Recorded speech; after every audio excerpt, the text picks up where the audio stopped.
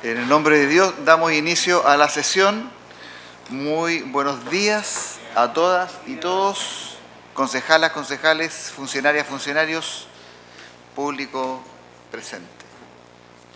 Vamos a partir eh, con este Consejo Municipal, el punto número uno de la tabla, que es la, eh, la aprobación del acta número 26 y 35 de sesiones ordinarias del año 2023. Eh, ¿Alguien tiene alguna opinión, comentario, sugerencia? ¿No? ¿Quiénes están por aprobar? todos los presentes. Perfecto. Pasamos al punto número 2, que es la correspondencia recibida y despachada. Don Juan Rafael. Sí, señor alcalde, buenos días. Buenos días, señores concejales.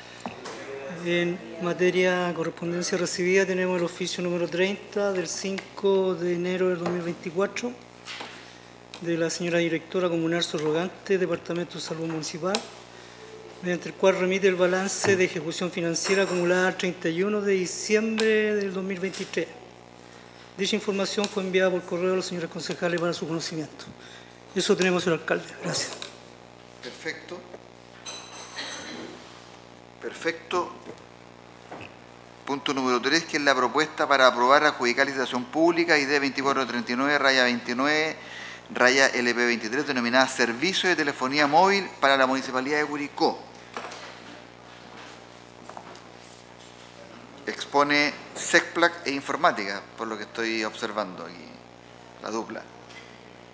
Eh, buen día, señor alcalde, señores concejales. Eh, tal como se indica, vamos a presentar la propuesta para eh, adjudicar la licitación eh, servicio de telefonía móvil para la Municipalidad de Curicó. primero comentarles que esta licitación se realiza cada 18 meses. para esta licitación en específico se realizó una prueba de conectividad, voz y datos en la posta de Upeo, en donde se presentaron dos empresas a esta prueba, Movistar y Entel, donde Movistar no pudo hacer funcionar el chip que habían llevado, por lo tanto, eh, Entel solamente pasó la prueba, digamos, que se hizo en ese momento. Eh, por ello, eh, al momento de lo que sería la licitación, se presenta como oferente solamente Entel PCS Telecomunicaciones SA, RUT 96.806.980-2.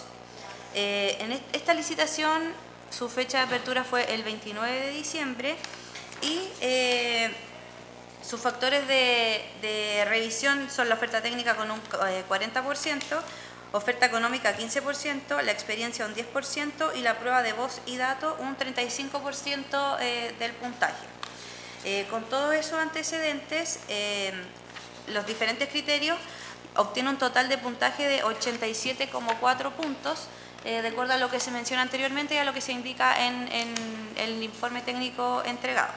Por lo tanto, eh, de acuerdo a lo antes expuesto, se sugiere adjudicar ante el PCS Telecomunicaciones S.A. RUT 96806-980-2 por un monto de 6.091.165 pesos IVA incluido, eh, por el, servicio completo. Completo, sí, 5 millones...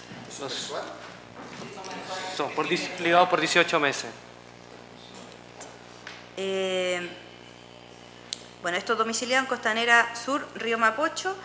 Eh, la propuesta denominada Servicio de Telefonía Móvil Municipalidad de Curicó ID 2439-29-LP23 por un plazo de 18, de 18 meses. Eso, señor alcalde.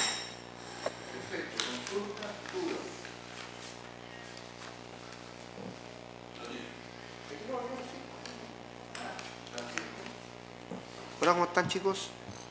Buen día, señor concejal. Bien. ¿Se, acuerdan el monto cuánto fue la, vez pasada?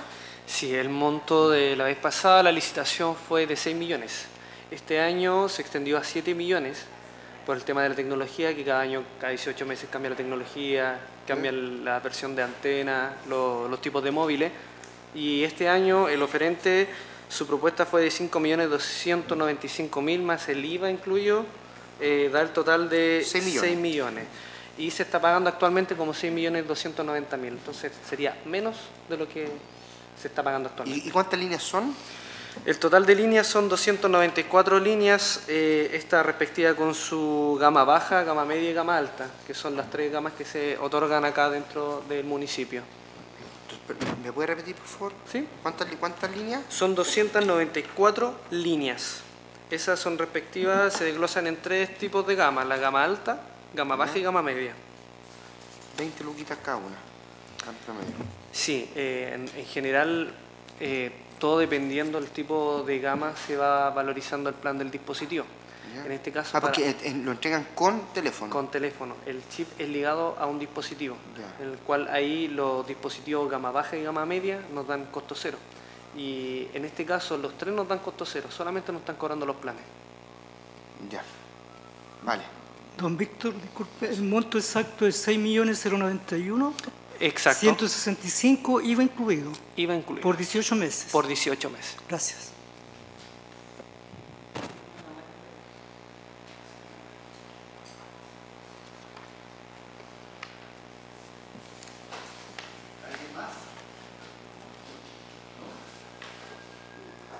¿Quién más quiere hacer alguna consulta?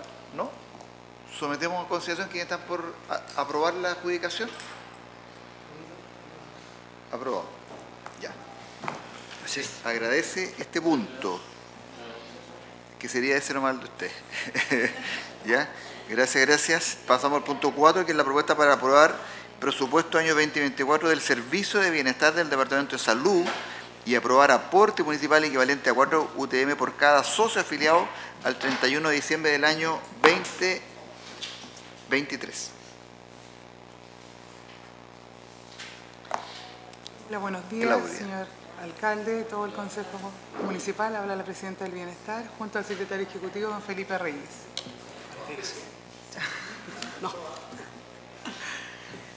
Como dice la tabla, venimos a, a someter a aprobación el presupuesto para el año 2024 de los, las cuatro UTM por cada socio inscrito al 31 de diciembre del 2023. Eh, bueno, nosotros hemos hecho harta actividad con los funcionarios, eh, hicimos una actividad infantil ahora que gracias al señor alcalde y el consejo nos prestaron la, la granja y fue una actividad muy buena para los funcionarios, quedaron todos muy contentos, muy, eh, les gustó mucho la actividad. Tenemos también nuestro seguro complementario de salud, el CERMECO, y muchos avances que hemos tenido con los funcionarios. Así que ahora va a pasar don Felipe a presentar los números. Claro. Bueno, el, presupuesto del, del Servicio de Bienestar eh, asciende a 781 millones anuales y este está eh, construido, constituido por los aportes de los afiliados, ya que eh, pagan una cuota mensual de 6 mil pesos, la cual la cuota por sí sola es de 4.800 pesos y hay un fondo de emergencia solidario de 1.200. Ya esto como ingreso anual eh, significan 65 millones de pesos. Por otro lado, hay un aporte municipal por cada socio inscrito. Ya en la fecha hay 913 socios inscritos y se reciben, y es parte de la solicitud que hacemos ahora, 4 UTM por socio inscrito. Y eso asciende a un ingreso anual de 235 millones de pesos. Por otro lado, hay otros ingresos corrientes que ascienden a 296 millones que, están, eh, que se componen de intereses por préstamos. Una de las prestaciones que entrega el Servicio de Bienestar es otorgar préstamos de auxilio a sus socios afiliados, que eh, son sumas que van desde los 100 mil pesos hasta los 300 mil pesos y se realizan por descuento por planilla.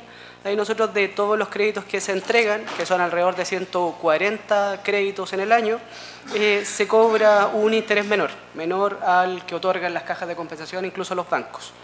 Por otro lado, se realizan dos eh, rifas en el año y dichas rifas eh, entregan un ingreso de 18 millones de pesos aproximadamente.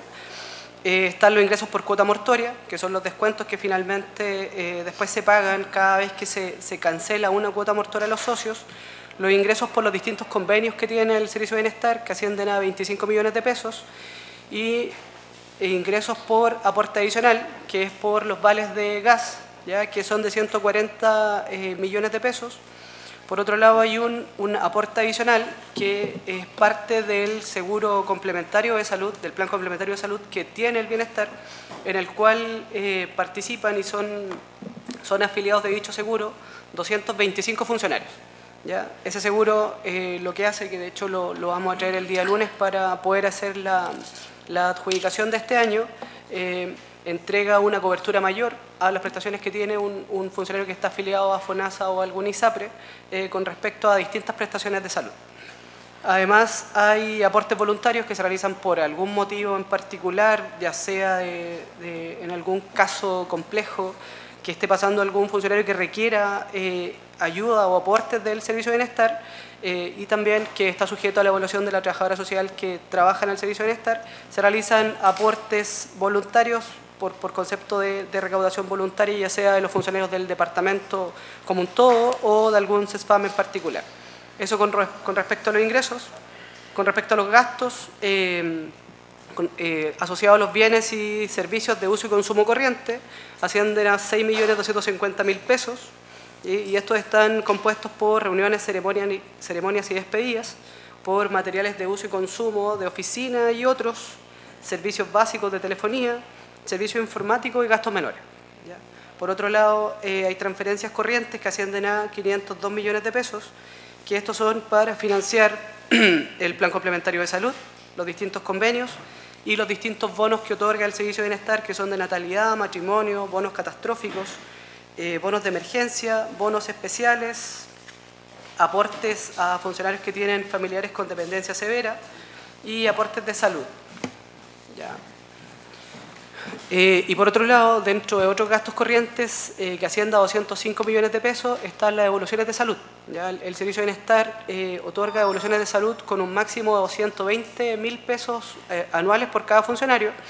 Y por otro lado, hay un proyecto de inversión que quiere realizar el Bienestar, que es eh, en base a distintos excedentes que han ido quedando en el ejercicio presupuestario todos los años, que asciende a 120 millones de pesos y es para la construcción de un centro eh, recreacional. Estos, estos recursos apuntan a comprar un terreno, a construir una piscina y un, y un, quincho, una sala de reuniones, que va a ir en directo beneficio de los socios del Servicio de Bienestar.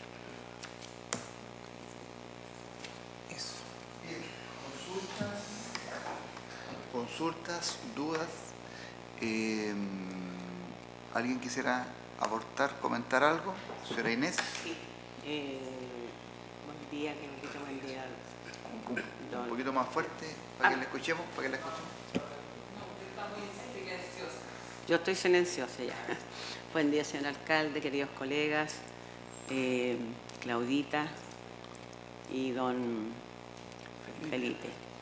Bueno, creo que han crecido, se ha crecido mucho. La última propuesta me, alegra mucho saber, porque bueno, la municipalidad nunca, en el periodo que estuve, nunca jamás dejó de no prestar eh, la, piscina, el ser, porque siempre, siempre se tuvo el apoyo, pero ahora veo que las, las expectativas son mayores y, y realmente yo creo que se merecen los funcionarios tener un lugarcito, ¿no es cierto?, su quincho, su piscina, y realmente esta familia cada vez va creciendo más. Entonces, yo creo que los felicito por esa gran iniciativa que va en beneficio de todos. Muchas gracias, señor presidente. Gracias. Gracias. ¿Una duda? Don Javier. Para preguntarle a Claudia o a Felipe, buenos días a todos. Sí, buenos días, Claudia y Felipe. El bono de emergencia solidario, ¿cuál es el criterio de evaluación para poder entregarlo? Esa es la duda que, que tengo. ¿O a quiénes va dirigido? Tenemos una trabajadora social que ve el caso con el funcionario directo. Y ahí después lo llevamos a aprobación en la reunión con todo el directorio. Ah, y hay una evaluación profesional. Sí, ya. Sí. Eso. Gracias, Claudia. Gracias, alcalde. Bien. ¿Alguna otra consulta, duda? Eh, entonces, eh, quienes están por aprobar el presupuesto año 2024 del Servicio de Bienestar del Departamento de Salud y aprobar también el aporte municipal equivalente en 4 UTM. Perfecto. Aprobado. Muchas gracias. Muchas gracias.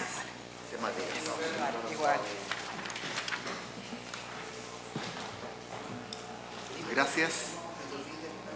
Punto número 5, que es la propuesta para aprobar modificar modificación presupuestaria número 1 de los fondos de salud municipal.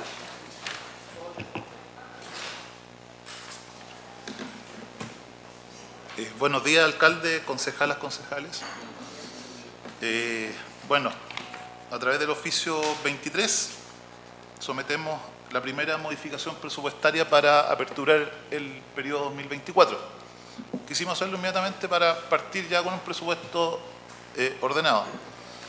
La modificación, eh, y solo recordarles que el presupuesto se elabora eh, con bastante anticipación. En agosto nosotros empezamos, del 2023 empezamos a elaborar el presupuesto 2024 y por lo tanto siempre es una estimación de los gastos del periodo presupuestario siguiente y esto nos permite de alguna manera tener una realidad un poquito más clara de cómo vamos a enfrentar el 2024. En principio transmitirles que terminamos el 2023 eh, con cifras azules, eh, cifras positivas, con todos nuestros compromisos financieros cumplidos. De hecho, la estimación de la deuda flotante, que oscilaba en 350 millones de pesos, bajó a no más de 35. O sea, nuestras deudas flotantes, compromisos adquiridos por pagar, fueron solo 35 millones de pesos. Nada. Al 31 de diciembre, que son pagos que están eh, en su tiempo para ser eh, cancelados durante este, este primer mes. Y por lo tanto sometemos, reitero, esta modificación presupuestaria que persigue eh, distribuir el saldo inicial de caja de 2.897 eh, 2.897.399.159 pesos y una deuda flotante menor, es decir, habíamos estimado 350, pero finalmente fueron eh, algo más de 34 millones de pesos y por lo tanto también nos permite distribuir eh, 315.395.277 pesos como menor deuda flotante. Eso se considera como mayores ingresos, ya para efectos de aperturar el año 2024.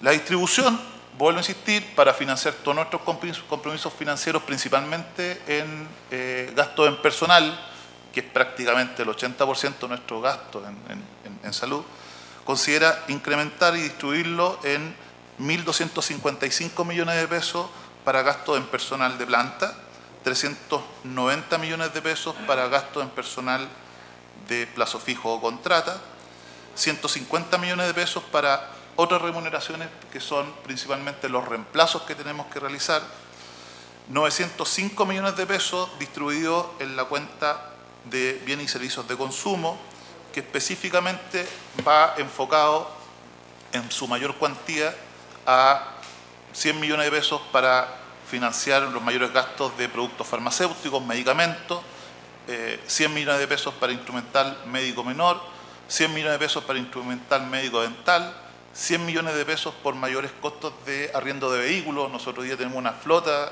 eh, instalada en nuestros establecimientos que vamos a tener que incrementarlo. Se ha, sido necesario atender en domicilio a muchos más pacientes, por lo tanto vamos a requerir mayores arriendos. Hoy día tenemos 19 vehículos, queremos incrementar a lo menos dos o tres eh, a nuestra flota. Eh, 35 millones de pesos en otros gastos, 200 millones de pesos en seguir con nuestra política de mantención y reparación de nuestros establecimientos. Eh, lo hemos reiterado, son establecimientos que requieren ser eh, mejorados, tienen muchas necesidades. 90 millones de pesos en mantenimiento y reparación de máquinas y equipos, la obsolescencia de alguna manera se va supliendo con, la mantención. Eso en resumen eh, lo, que se considera con, con mayores eh, gastos por concepto de bienes y servicio consumo, subtítulo 22. Y 512 millones de pesos al subtítulo 29, que está 72 millones de pesos, eh, estoy redondeando, 72 millones 794, 436 en mobiliario y, y otros, 20 millones de pesos para máquinas y equipos de oficina, 100 millones de pesos para maquinaria y equipos de producción, 100 eh, millones de pesos para otros, otros gastos del subtítulo 29, 200 millones de pesos para equipos computacionales y periféricos. Eh, transmitirles que este año 2023 logramos eh, implementar la ficha electrónica en Sarmiento, ya está en plena operación, ya tenemos tres establecimientos con ficha electrónica y este 2024 el desafío es los niches e idealmente partir Colón o Miguel Ángel Arena. Pero los niches vamos a quedar también con ficha electrónica este 2024. Para implementar la ficha electrónica es un gasto eh, importante. Recambio del 100% de los equipos computacionales, mantención y cambio, en este caso, de 100% de las líneas eh, de los puntos de red, todo lo que es eh, Internet y conectividad, mejoramiento del sistema eléctrico. Por lo tanto, son inversiones grandes, pero son necesarias. La ficha electrónica cambia la cara de un establecimiento. ¿ya? Por lo tanto, los niches sí o sí vamos a tener ficha electrónica en el 2024. Y vamos a partir con Colón, creo que Colón antes que Miguel Ángel Arena, por un tema de, de, de, la, de las instalaciones principalmente. Y eh, 20 millones de pesos en, en, programas computacionales que van de la mano con el recambio de, de los computadores. En resumen, esta modificación presupuestaria, insisto, para partir de alguna manera ordenado el año y cumplir con nuestros compromisos financieros, carrera funcionaria que aprobamos el año pasado, nivelaciones y carrera funcionaria normal, entre otras cosas, implican 3.212.794.436 pesos como modificación presupuestaria. Esa es eh, la modificación so solicitamos su aprobación. Eh, comentario, eh, consulta, eh, don Patricio. Gracias. Eh, don Juan, hay una inversión de 100 millones de pesos para arriendos de vehículos. ¿Cuántos vehículos son los que actualmente se cuentan y qué tipo de vehículos son? Nosotros tenemos, eh, tenemos una dotación propia. Ya, ya, perfecto. Pero adicionalmente tenemos eh, móviles contratados a través de licitación pública en cada establecimiento. Ya, y... En resumen, tres en el Betty Muñoz, cuatro en el Central, tres en Sarmiento, tres en Los Niches, tres en Colón y tres en Miguel Ángel Arena. ya me perdí tanto, pero...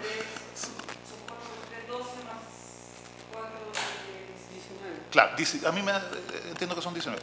Vamos a incrementar, obviamente necesitamos mayor recurso ¿Sí? porque los costos van aumentando, pero además queremos incrementar uno en, eh, el Curicocentro, que por población eh, eh, es importante, y otro en el Miguel Ángel Arenas o en Betty Muñoz. ¿Pero qué tipo de vehículos son? Son vehículos para tra transporte de funcionarios. Como de estos furgones escolares, una van. Minivan ya. Eh, o, o Suburban. Ya. Y dentro de, este eh, monto, eh, ¿habrá la posibilidad de que cada año se vaya adquiriendo como eh, un vehículo para diferentes sectores, cosa de ir reduciendo la cantidad de arriendos? Gracias, eso es la pregunta. Súper bueno.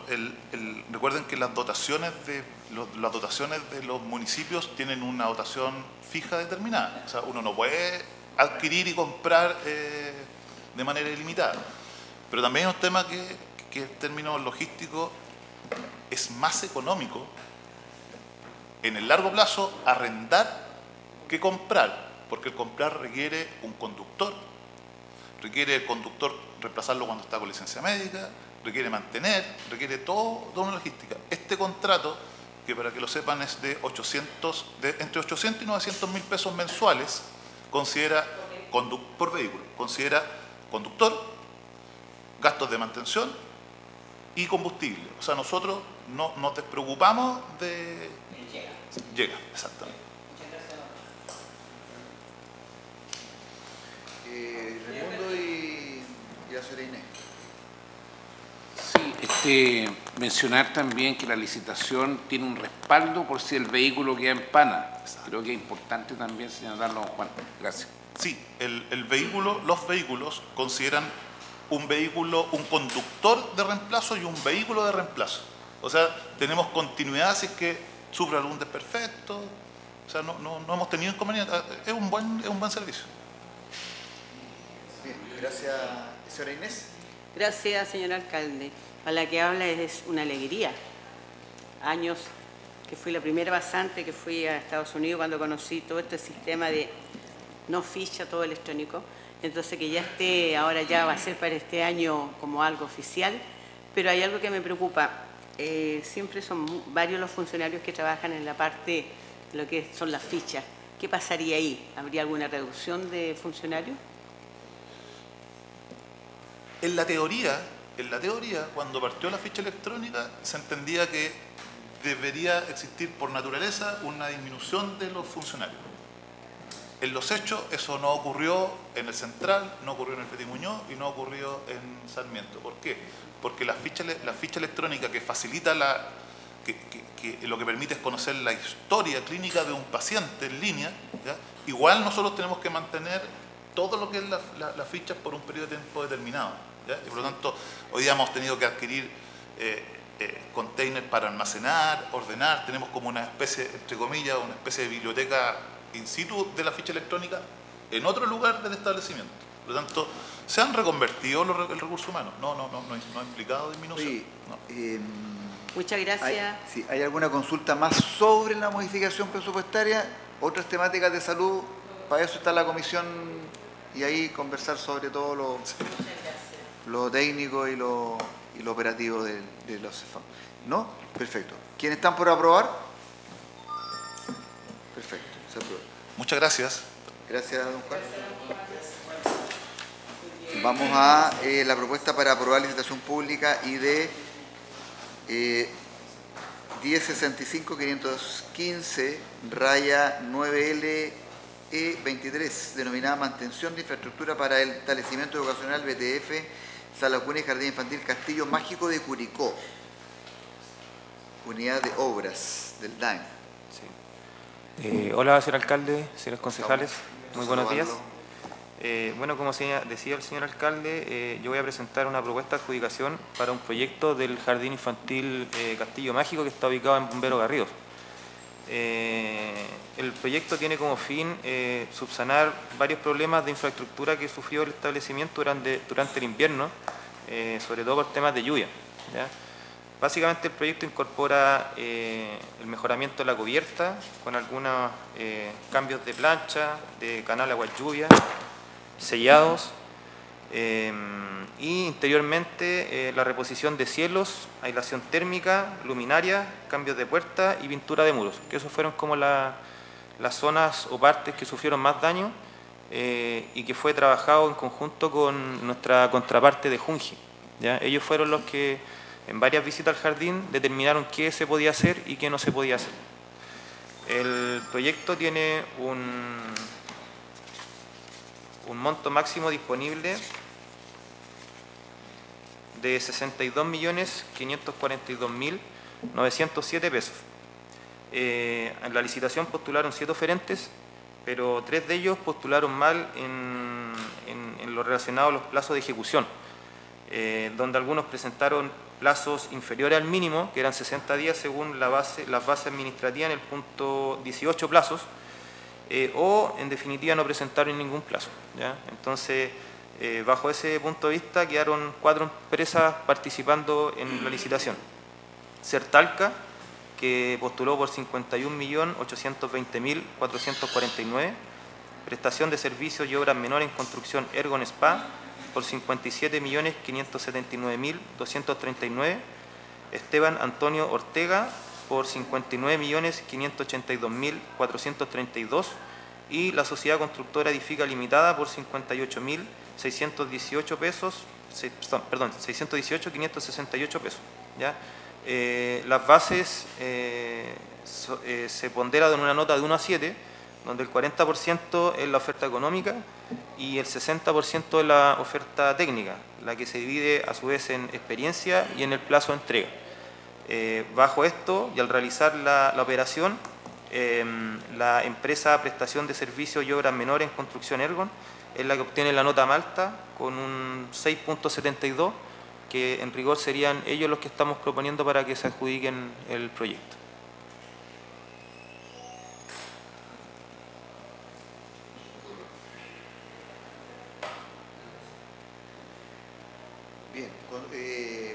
Dudas, Ivette. Gracias, señor alcalde. Hola, ¿cómo estás? Hola, bien usted. Eh, sería bueno que cuando, porque yo lo había buscado y tú ahora lo dijiste, no tenemos eh, datos de las otras empresas que, que entraran al concurso, a la licitación, solo tenemos la- los datos de, de la que ustedes están proponiendo. Eh, ¿A qué se, se- se refiere con los datos como el root, nombre, No, nada, ni siquiera. No, no, pero ¿qué es lo que quiere? Eso- eso eh, la- la como que solamente hubiese participado, solamente hubiese quedado dentro de los posibles oferentes. No, no tienen la, el correo, No, no está. Se No está, señor alcalde. el correo electrónico. Se mandó por correo No, según lo no que está yo- en los datos que nos, que nos llegó en el consejo. No, en el, en el correo electrónico que venía está toda la información. No, de, aquí- de ahí, lo acabo- de aquí lo estoy abriendo. Formato oficial oferta económica.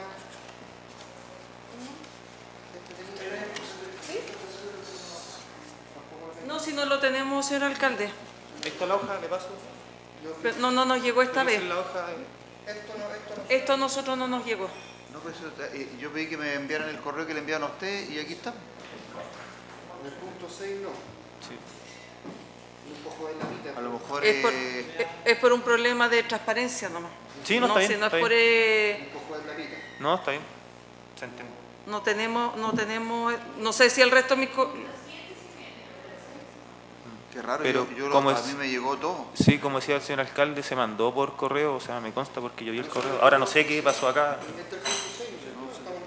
estamos en el punto 6.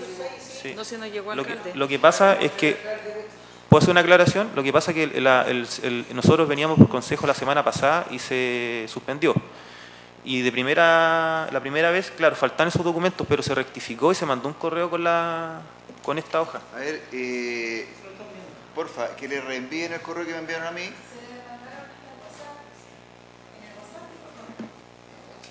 Claro, puede que haya, que haya un segundo correo.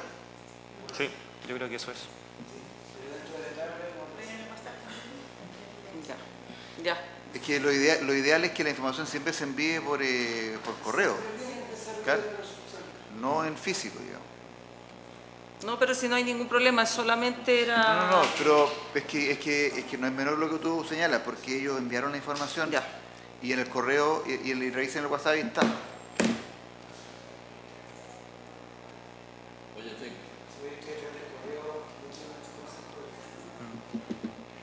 Pero mi, pre- eh, mi pregunta, ¿se envió Patti a través de un segundo correo? Ya, pero no en el correo, no en el correo, sino a través del WhatsApp. No, pues si no está. Si no está. Pero si no está. Claro, hecho, Importante resolverlo. Es resolverlo, sí. sí, claro. Pero ahí está la información, pues ahí se la... se la- El concejal de información está dentro de su lo lógico. El deber del trabajo. Ah, ahí se ve, sí. Pero en el correo no está. yo, yo lo estoy bajando desde el correo, no del WhatsApp. Ya, pero ¿dónde está? ¿En el WhatsApp?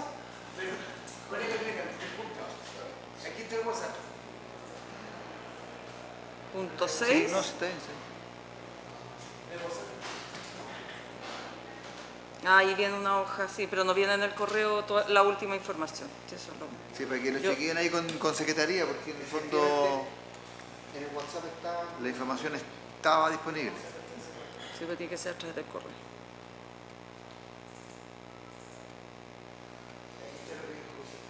Ahí están todas las empresas, las que quedaron y las que no quedaron. Sí, está especificado en la hoja. Tiene una sola. Ya.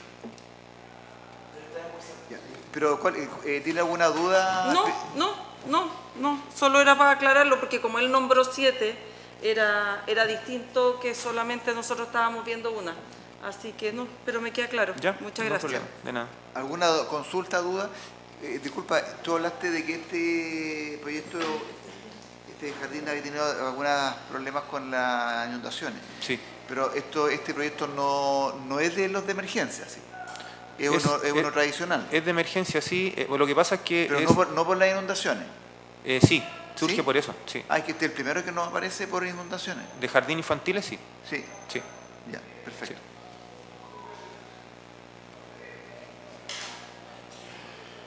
¿Alguna consulta más? ¿No? Sí, no sé, está bien. ¿Quiénes están por eh, aprobar esta Ya. publicación? Solamente cuatro. Después te lo muestro. Bien, ya. Se agradece, José Luis. Ya, muchas gracias. Pasamos al punto 7. Tiene, ese, ese también viene con todos los detalles, no sé si lo tienen. ¿Sí? Ya, perfecto. Eh, sí, el punto 7, que es la propuesta para eh, adjudicar licitación pública ID 2440, raya 261, raya LE 23, denominada Gift Card Calzado Deportivo y Escolar para alumnos del programa por retención de Curicó. Buen día, señor alcalde, estimados, estimadas concejalas, concejales. Eh, bueno, ahí nos van a ayudar con una presentación de apoyo, en donde vamos a mostrar más o menos lo mismo que, que a ustedes les llegó a sus correos. Eh, bueno, está la licitación, la propuesta de, de adjudicación de eh, la licitación código ID 2440-261 LE23, denominada Gift Card para calzado deportivo y escolar para alumnos del programa por retención de Curicó. Eh, si bien hace, unas, hace un par de semanas yo vine acá a presentar una, una licitación del programa por retención en donde se iba a ver eh, los beneficiados del tramo 2, 3 y 4, ¿ya? en donde se eh, aprobó la compra de computadores para los estudiantes del, del programa. Esta parte era lo que restaba des- del, del programa por retención, eh, corresponde al tramo 1, ya que son los estudiantes de séptimo y octavo básico, en donde mm, eh, se propone la compra de calzado deportivo y escolar. Y eh, no sé si nos pueden acompañar con la presentación o la... ah,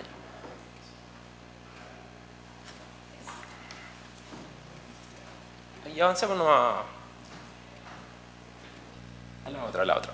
Eh, este, ahí, bueno, no se ve mucho, pero estos son los beneficiados de, del tramo 1 eh, que corresponden ahí, ustedes pueden ver a diferentes establecimientos de la, de la red educativa municipal. Eh, en total son 287 estudiantes que eh, están dentro del programa por retención y serían beneficiados de, de esta adjudicación. Avancemos. El requerimiento so- solicitado son gift card de calzado escolar y deportivo con, eh, por una cantidad de 287 eh, financiadas por el programa por retención y con un monto total disponible de 36.857.688. Avancemos. Eh, se presentaron dos empresas, ¿cierto? Los factores a que se van a ponderizar son la oferta económica con un 40%, el lugar de ubicación con un 20%, el servicio postventa con un 10% y la experiencia con un 30%. ¿ya? Eh, en el factor económico lo que, se, lo que se pondera es la bonificación que se le da, que le da la empresa, ¿ya? porque ambas se presentan por 128.424, que es eh, la gift card individual, y lo que se pondera es la bonificación extra que se da, eh, que, re- que presenta la empresa. Y la empresa número uno es Comercial Jaime Moya e IRL, que oferta un monto de 128.424 y presenta una, una bonificación del 30%, quedando una gift card en 166.950. Em, por lo tanto, en la oferta económica pondera un 40%, lugar de ubicación 20%, servicio postventa 10% y experiencia 30%, dando un total de 100%. Y la otra empresa es Administradora de Convenios y Beneficios Club Online SPA, que pondera por, o sea, que presenta una oferta por 128.424 y una bonificación del 20%, quedando en cada gift card en 154.109 pesos. ¿Ya? Eh, por lo tanto, la oferta económica quedaría en un 30%, el lugar de ubicación un 20%, servicio por venta 10% y experiencia 30%, dando un total de 90%. Por lo tanto, eh, se propone en este caso adjudicar a la empresa eh, comercial Jaime Moya IRL que presenta un mayor porcentaje final de, de ponderación con un 100%.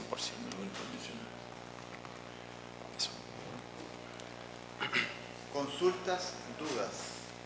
Estamos hablando de 287 beneficiarios. Sí.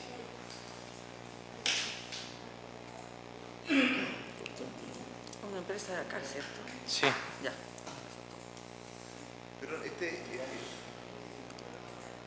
porque estamos hablando de, de calzado Sí. escolar y, y ¿qué? ¿Es alguna zapatería? Es eh, la tienda El Lolo que él también ha desarrollado ese mercado porque se ha anteriormente ya ha postulado y ha adjudicado licitaciones en cuanto a calzado, a calzado escolar, a calzado deportivo, bueno ya uniformes escolares que... ¿Tienen, Sí, sí. ¿Y Sí, porque- cuál es administradora de convenios y beneficios del club? Eh, bueno, debe ser, es una empresa de Santiago que ellos prestan el servicio no como una tienda de calzado en sí física, sino como que tienen este convenio de la tarjeta eh, con- y tienen convenios con diferentes empresas. Claro. Como una tarjeta de crédito al final. Eh, claro, bueno, por eso debe ser como la bonificación debe ser menos, pero es, es como un intermediario, no es, no es la tienda directa. O sea, lo- los estudiantes aquí van a, pues, si se adjudica acá, van a poder eh, canjear 166.950 en calzados. Sí. Y deportivos escolares. Sí. Ya se ha hecho anteriormente y con esta empresa y no hemos tenido ningún reclamo ni, ni nada por el estilo. Ya. ¿Y la calidad de, la- de los productos? Lo que, o sea, lo que consultamos nosotros que no podemos poner marcas, pero eran como tipo zapatillas Skechers, que son un calzado entre deportivo y escolar, más o menos como, como ese, el estándar, por, por decirlo de alguna forma. ¿Y el, y el calzado deportivo también? Sí, también tienen calzado deportivo, o ¿Pero sea, de, de qué? ¿De diferentes marcas? sí, de diferentes marcas. Sí. ¿Como cuáles? Tienen New Balance, Skechers, que se cambiaron en ese tiempo, eh, Adidas y Nike. No recuerdo la- las otras, pero son marcas reconocidas. Ya, ok, vale. ¿Alguna consulta? Iba más o menos su misma pregunta, señor alcalde, de las marcas y dónde ellos podían. Pero ellos pueden comprar calzado escolar, zapatos de colegio y calzado deportivo. Sí, porque más o menos eso es lo que les podría en, en costo, eh, claro, por el costo de una zapatilla, más o menos eso es lo que podrían canjear. O sea, pueden, o sea, al final canjean dos, Dos, sí. dos calzados. Sí, claro. O sea, pueden- Sí, porque- perfectamente pueden comprarse Sí. una zapatilla deportiva y un calzado escolar. y- Sí. Ya. Dependiendo Ahí es del el, distinto. el tipo, a lo mejor algo más. Los calcetines. No, no, no, porque es solo calzado. Solo Sí, solo calzado. Un segundo calzado, o, o parte de un segundo calzado. Deportivo. o escolar. Bien, eh, ¿alguna otra consulta? ¿Quiénes están por adjudicar? Francisco. Muchas gracias, esté muy bien. Vamos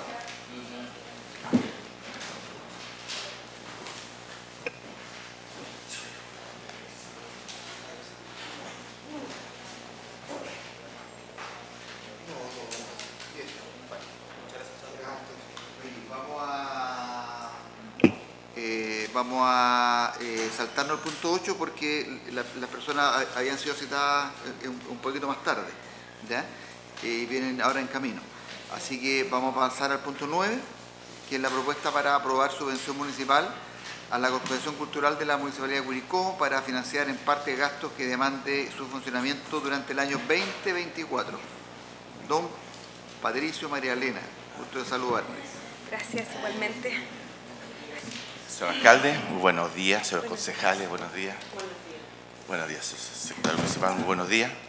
Gracias. Eh, efectivamente, como todos los años, a lo que corresponde a la Corporación Cultural, pero que nada me acompaña María Elena, ¿cierto? Como grupo de cultura.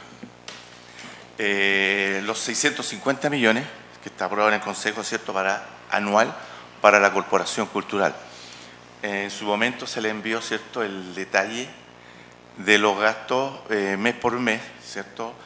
Eh, y también la- las cuotas, si podemos decir, mensuales, tal como decía el oficio, de acuerdo a la disponi- disponibilidad presupuestaria que tuviera la municipalidad. Bien, un, porcentaje importante se, está en remuneraciones. Nosotros tenemos casi 33 trabajadores, tanto eh, en, la en el centro cultural, en las tres bibliotecas, como también eh, lo que llamamos baño Alameda. Eso, cierto, es lo que son como 366 millones, donde están considerados no solamente lo que son sueldos, sino que también específicamente eh, la hora extra, que les toca trabajar algunas, y casi a todos, ¿cierto? especialmente lo que es la vendimia, las cazuelas y la chilenidad, que son horarios sábado, domingo y hasta altas horas. Tenemos cuatro personas, bueno, cinco personas honorarios, ¿ya? En la Corporación Cultural que son, han estado siempre con nosotros apoyándonos.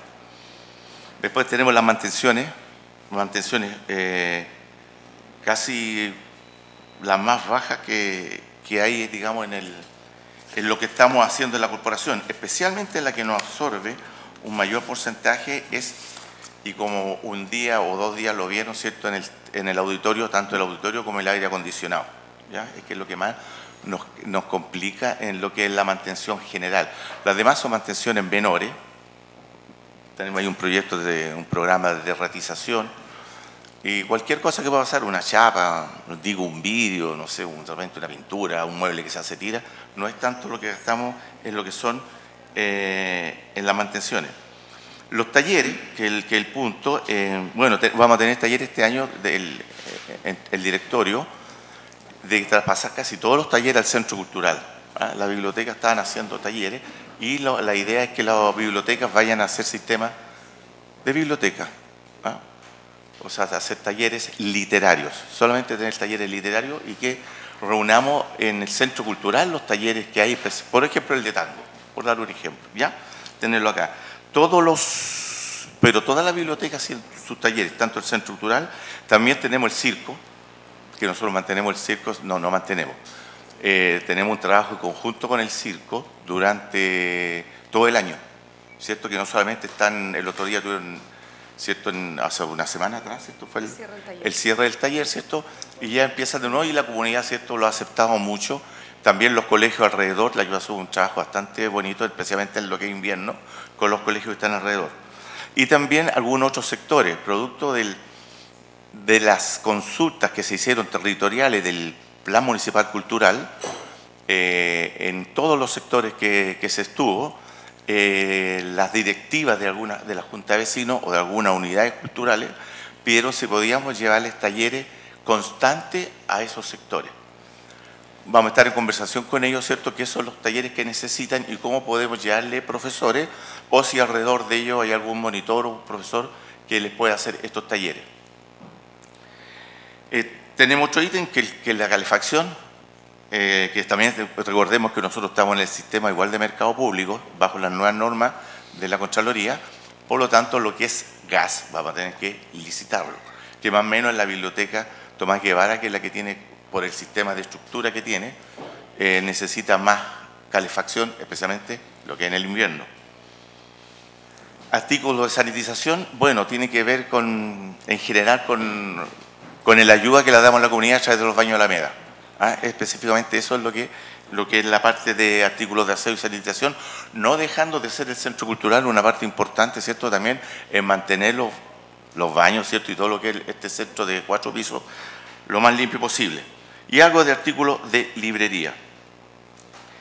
Dejé para después el Fondo Cultural. El Fondo Cultural Municipal, ¿cierto? Es un proyecto que viene de del anterior, ¿cierto? Y siempre ah, nos acordamos de la, zona, la señora Sonia Maturana, respecto a que es un base que se le da a la comunidad para que postulen a, este proyecto que siempre tratamos que termine en noviembre o que diciembre es bien complicado. Tenemos ahí 50 millones para el Fondo Cultural Municipal. Y actividades, bueno, este año viene siempre, eh, tenemos muchas actividades nosotros dentro del año. Hoy día estamos con talleres, 27, 28 talleres, tanto eh, financiados por un proyecto a través de la municipalidad como por la parte de la corporación. Y durante el año tenemos el Día del Folclore, el Día de las Cantoras, el Día del Patrimonio, el Día del Toquero, las fiestas patrias. Tenemos muchas actividades, ¿cierto?, durante el año que teníamos recursos y hoy día, ¿cierto?, los recursos están todos en este presupuesto. Este es el presupuesto de la Corporación Cultural. En términos, ¿qué quiere decir? Por lo menos la información que nos llega, ¿cierto?, que no habrían más recursos. No estoy diciendo en términos negativos, al contrario, tratamos de abarcar todo lo que puede hacer dentro de la comunidad. Como les digo, no solamente está el presupuesto de la corporación, sino están los talleres hacia la comunidad y también están ¿cierto? las distintas actividades que desarrollamos durante el año. Especial, por ejemplo, la ramada. Para la ramada, ¿cierto? la corporación es la que coordina todos los grupos folclóricos que están. también todos eh, hemos estado, ¿cierto?, en la comunidad cuando nos pide para las fiestas patrias que vayamos, ¿cierto?, con grupos folclóricos, con cantores. Eh, lo mismo nos pasa en Navidad y este año, ¿cierto?, lo tuvimos también en la plaza. Eso es más o menos, en general, el presupuesto de la Corporación Cultural. Ofrezco dudas.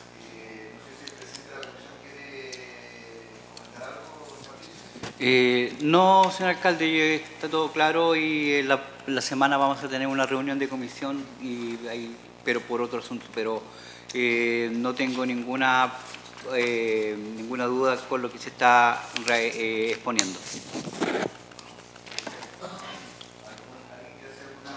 ¿Quiere hacer alguna consulta adicional?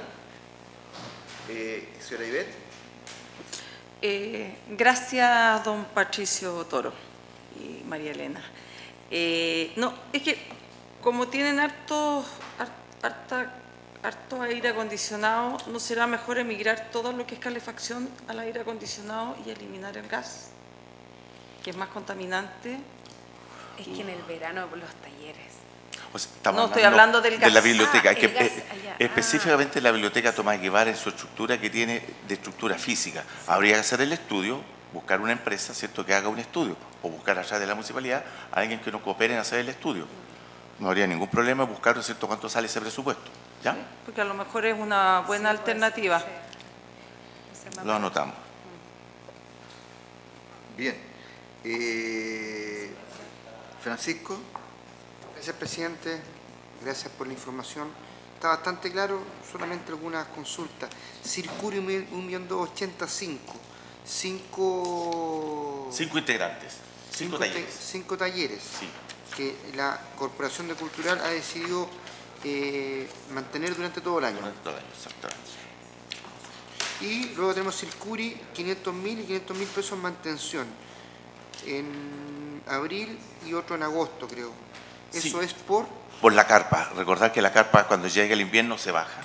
¿Cierto? Eh, usted lo ha visto, no es una cosa simple y siempre tenemos que contratar a, a gente adicional, especialmente lo o escalera, darle de seguridad y después que armarla. Ya. ¿Ya? Eh, yo me encantó Circurí, pero, pero eh, eh, esto es eh, cómo explicarlo, digamos, cuando uno le pregunta. ¿Por qué, no, ¿Por qué después no pueden ir a otra organización a pedir algo similar?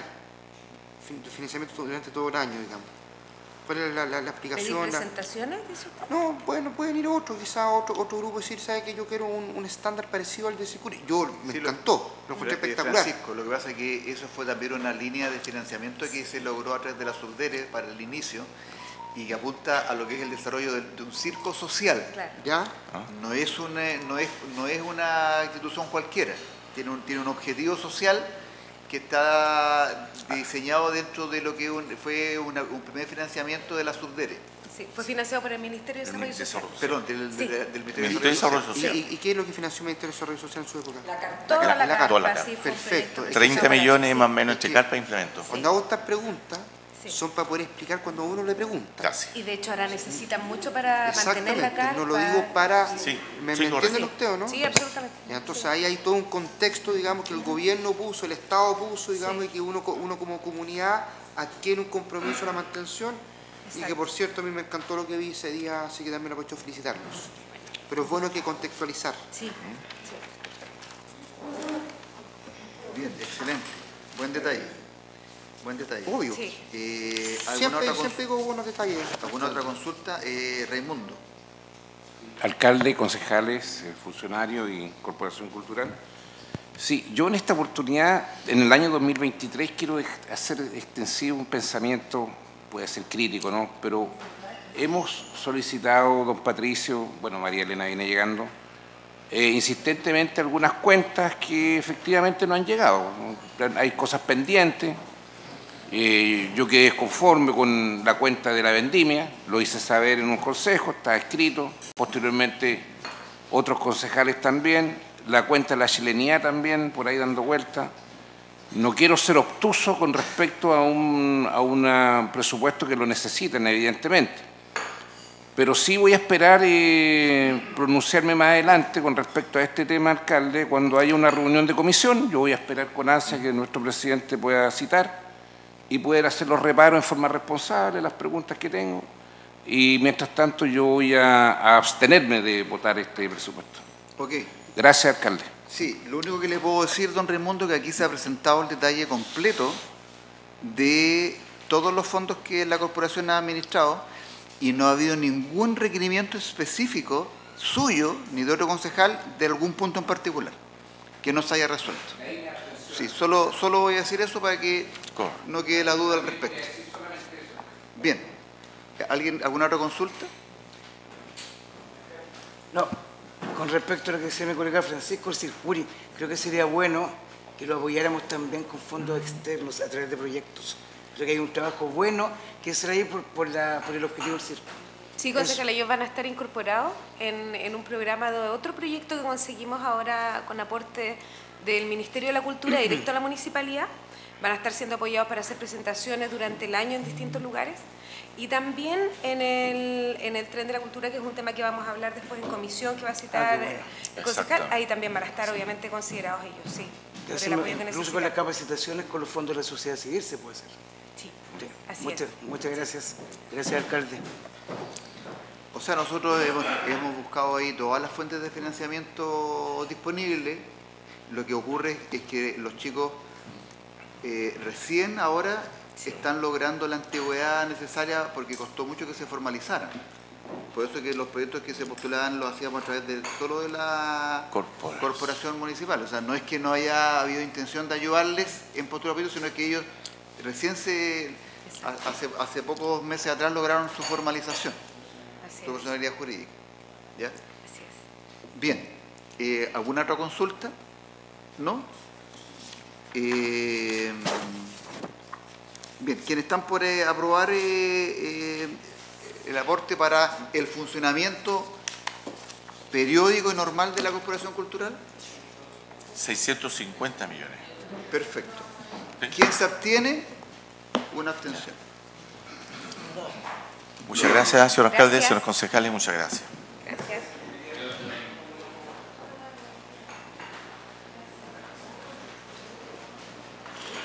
Pasamos al punto número 10, que es la propuesta para aprobar trato directo para el arriendo por 12 meses a contar del 15 de enero del año 2024 al 15 de enero del año 25, de la aplicación de seguridad SafeView, botón de pánico. Señora Marisol, Hola, buenos días. Buenos días, concejales. Buenos días, alcalde. Eh, primero que todo, recordar que esta aplicación viene del año 2017, es decir, hace seis años que nosotros tenemos la aplicación del botón de pánico y que ha sido un éxito dentro de las categorías que hemos trabajado con el alcalde del botón de pánico y es, un- y es una ayuda a la seguridad pública que es súper importante hoy en día. Eh, les vamos a hacer una explicación breve porque ya la hemos presentado durante todos estos años. Eh, ahí tenemos el programa en sí, que fue la inauguración en el año 2017. Después tenemos eh, el botón de pánico en sí, cómo funciona. Eh, no sé si se, lo, se los tengo que explicar, ya se lo hemos explicado otras veces, pero es para recepcionar emergencias de seguridad y en donde se conoce el nombre de la persona, el número de la persona, el teléfono y la ubicación. Que eso es súper importante porque todos sabemos de quién se trata, por eso mismo están las categorizaciones. Pasemos ahí. Bueno, ahí el, botón de pánico funciona, como sabemos, en la central de cámara de teleprotección municipal y se realiza coordinaciones para una pronta respuesta de cada uno de los de las personas usuarios que nos están llamando. Después tenemos la subcategoría, que tenemos transporte público, que son 890 conductores de colectivos, 25 de taxi, 45 de transporte escolar, 350 funcionarios de establecimientos de seguridad pública y hoy día nos están pidiendo eh, sumar 50 personas más para el central. Tenemos 15 víctimas de violencia intrafamiliar, que se llama Mujer Protegida. Tenemos comercio y barrio seguro, 108 comerciantes en Rodríguez, Prat y O'Higgins. Tenemos 48 comerciantes de Don Sebastián de Rauquén y 120 comerciantes del sector Bombero Garrido. ¿Cuáles son las alertas que nosotros, que ellos pueden dar? Están accidente de tránsito, eh, persona con problemas de salud en vía pública, persona con situación calle, lesión de moderada mordedura de perro, reclamos por ruido molesto, cable de tendido eléctrico en la vía pública, caída casual, anegamiento y sospechoso al interior de domicilios. Acá tenemos por qué venimos a presentar el botón de pánico, porque es un trato directo que lo hemos trabajado durante estos seis años. La empresa que nos provee con el botón de pánico es STI Net Servicios Tecnología Internacional. Es una empresa eh, que está en Chile pero israelita. El monto mensual es de 2.380.000 IVA incluido. El monto por los 12 meses son 28.500.000 incluido. Esto no ha subido desde que tenemos el, el botón de pánico alrededor de 3, 4 años que ya tenemos el mismo valor. STINet es la única empresa que hay en Chile autorizada para comercializar la APP de seguridad Saibu, así como sincronizar los botones de pánico. Es decir, ¿Por qué esta empresa? Porque no existe otra que pueda eh, sincronizar botones de pánico externos. Es la única en Chile. Y se utiliza esta PP con cobertura nacional, no, no se restringe si un curicano está en otra comuna aledaña, ellos igual pueden hacer uso del botón de pánico y central de carabinero o nuestra, perdón, la central cámara.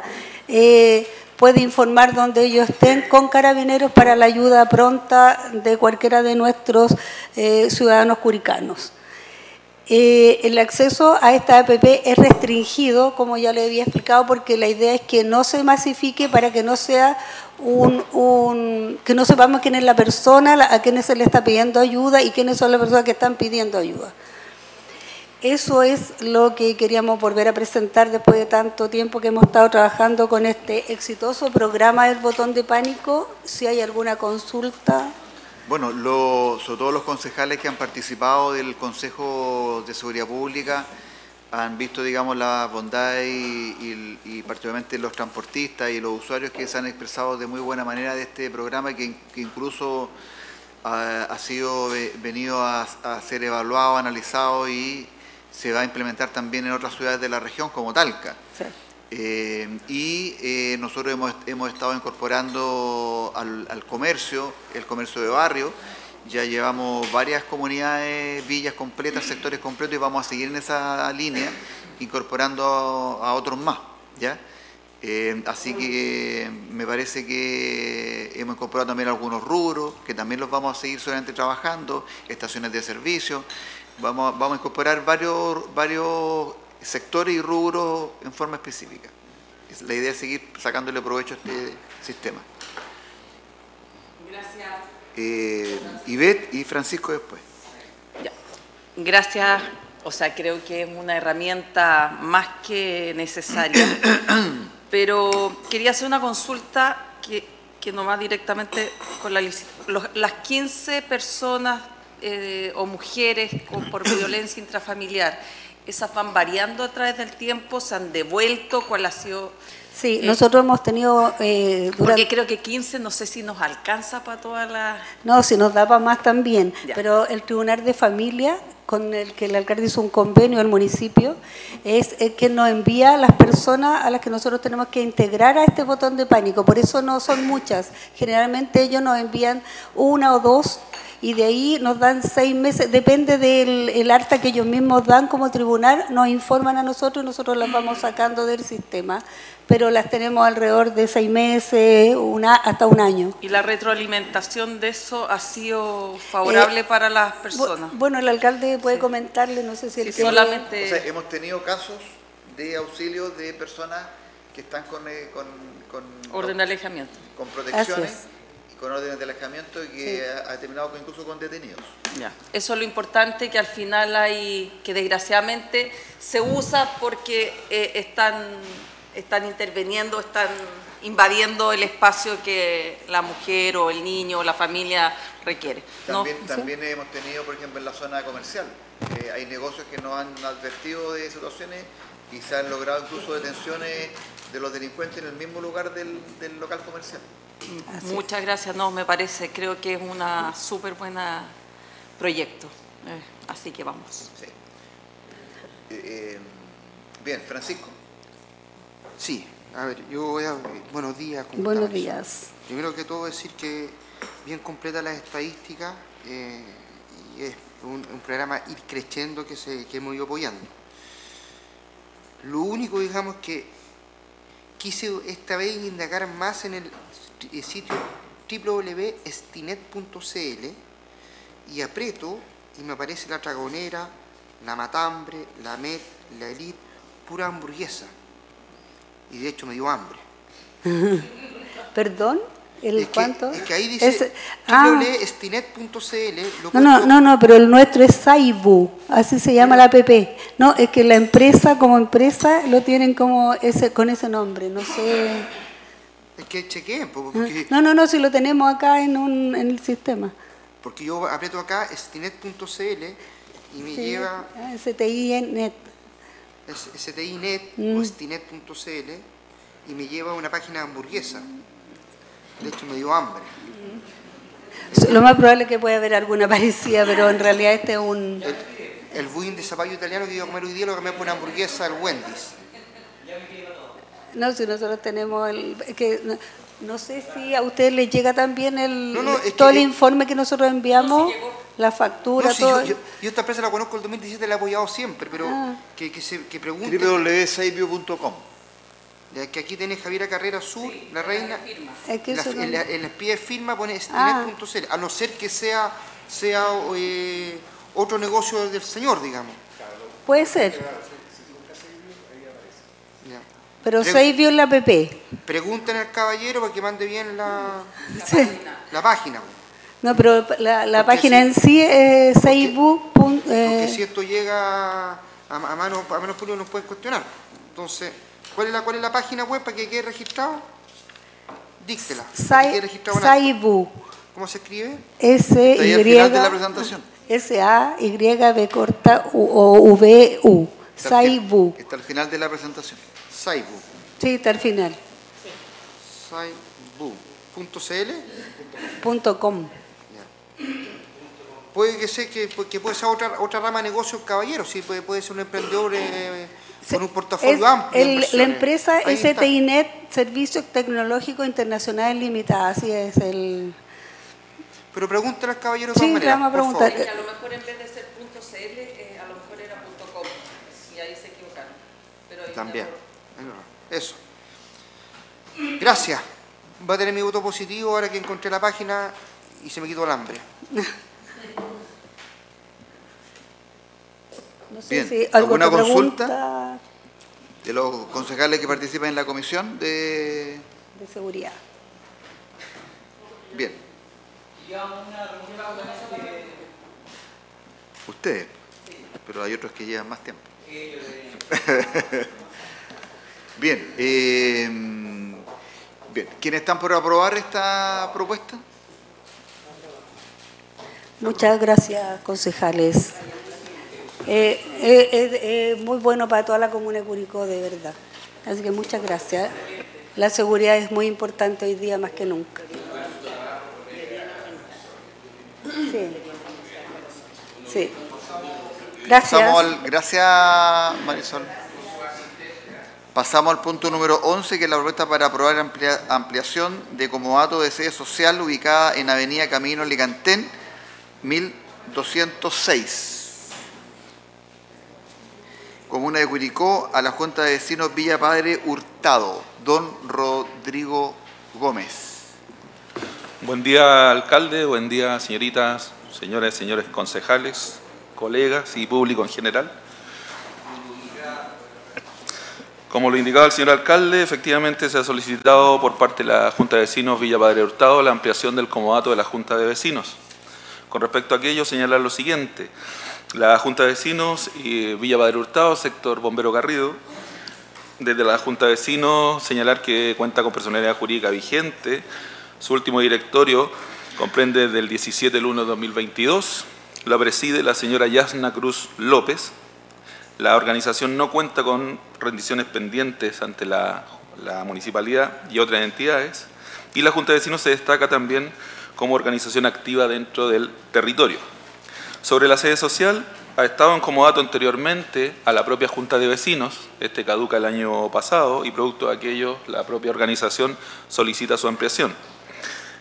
La Junta de Vecinos ha estado eh, eh, constantemente preocupada por el propio eh, por el propio espacio comunitario, ya en su mantención, en mejoras y también preocupada también de todo lo que tiene que ver con los gastos que conlleva la administración de la propia, del propio recinto. Además, eh, está abierto a la comunidad, está abierto a otras organizaciones que también lo puedan, eh, lo puedan utilizar. Con respecto a, estos, a estos puntos, a estos indicados, nuestro departamento y la opinión del departamento a través también de la propia coordinadora que eh, trabaja directamente, que es María Paz Díaz, sugiere al Honorable Consejo Municipal, salvo mejor parecer, sugiere la ampliación del comodato a 25 años a la Junta de Vecinos Villa Padre Hurtado. Eso es alcalde. La dirección Avenida Camino Alicantén 1206. Bien, ¿alguien quiere consultar y o comentar algo? ¿No? Entonces, bueno, es una junta de vecinos, ¿cierto?, que está activa, que ha hecho un buen trabajo. Estamos sacando incluso ahora, la semana pasada vimos el tema del pavimento participativo que, estaba pendiente y que tenemos buenas señales por parte del Servio de ser aprobado, así que es una comunidad activa. Bien, eh, quienes están por aprobar, la extensión eh, por... Eh, sugerimos por, 25 sugerimos años. por 25 nosotros. 25 años. Bien, aprobado. Muchas gracias. Sí. Ah, vamos a hacer un break, ¿cierto? Para las necesidades necesarias y para preparar la presentación de la empresa F. ¿Ya? Se levanta momentáneamente la sesión.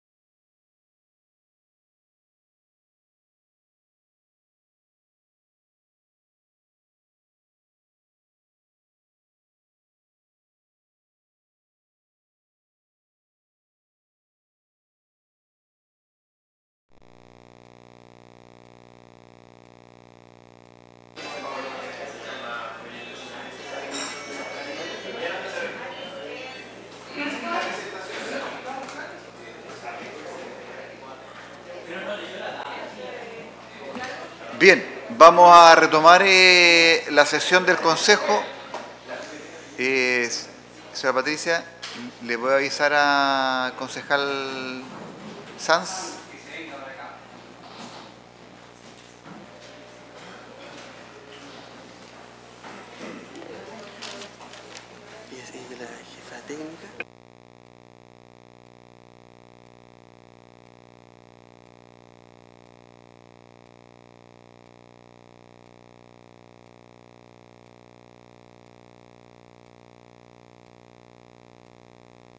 Bien, eh, vamos a continuar con el punto que estaba pendiente, que es la presentación por parte de, mm, de EFE, ¿cierto?, del proyecto de restauración de la estación de fer- ferrocarril de Curicó.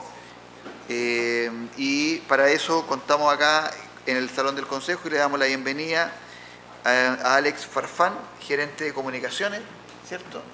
Eh, Francisca Manríquez. Manríquez, sí. ¿sí?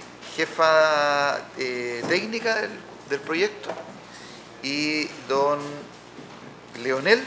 Leoner. Leoner Ávila. Estoy tratando de descifrar aquí eh, Sí. unos, unos jeroglíficos que me llegaron. Eh, coordinador eh, de participación. De planificación. De planificación.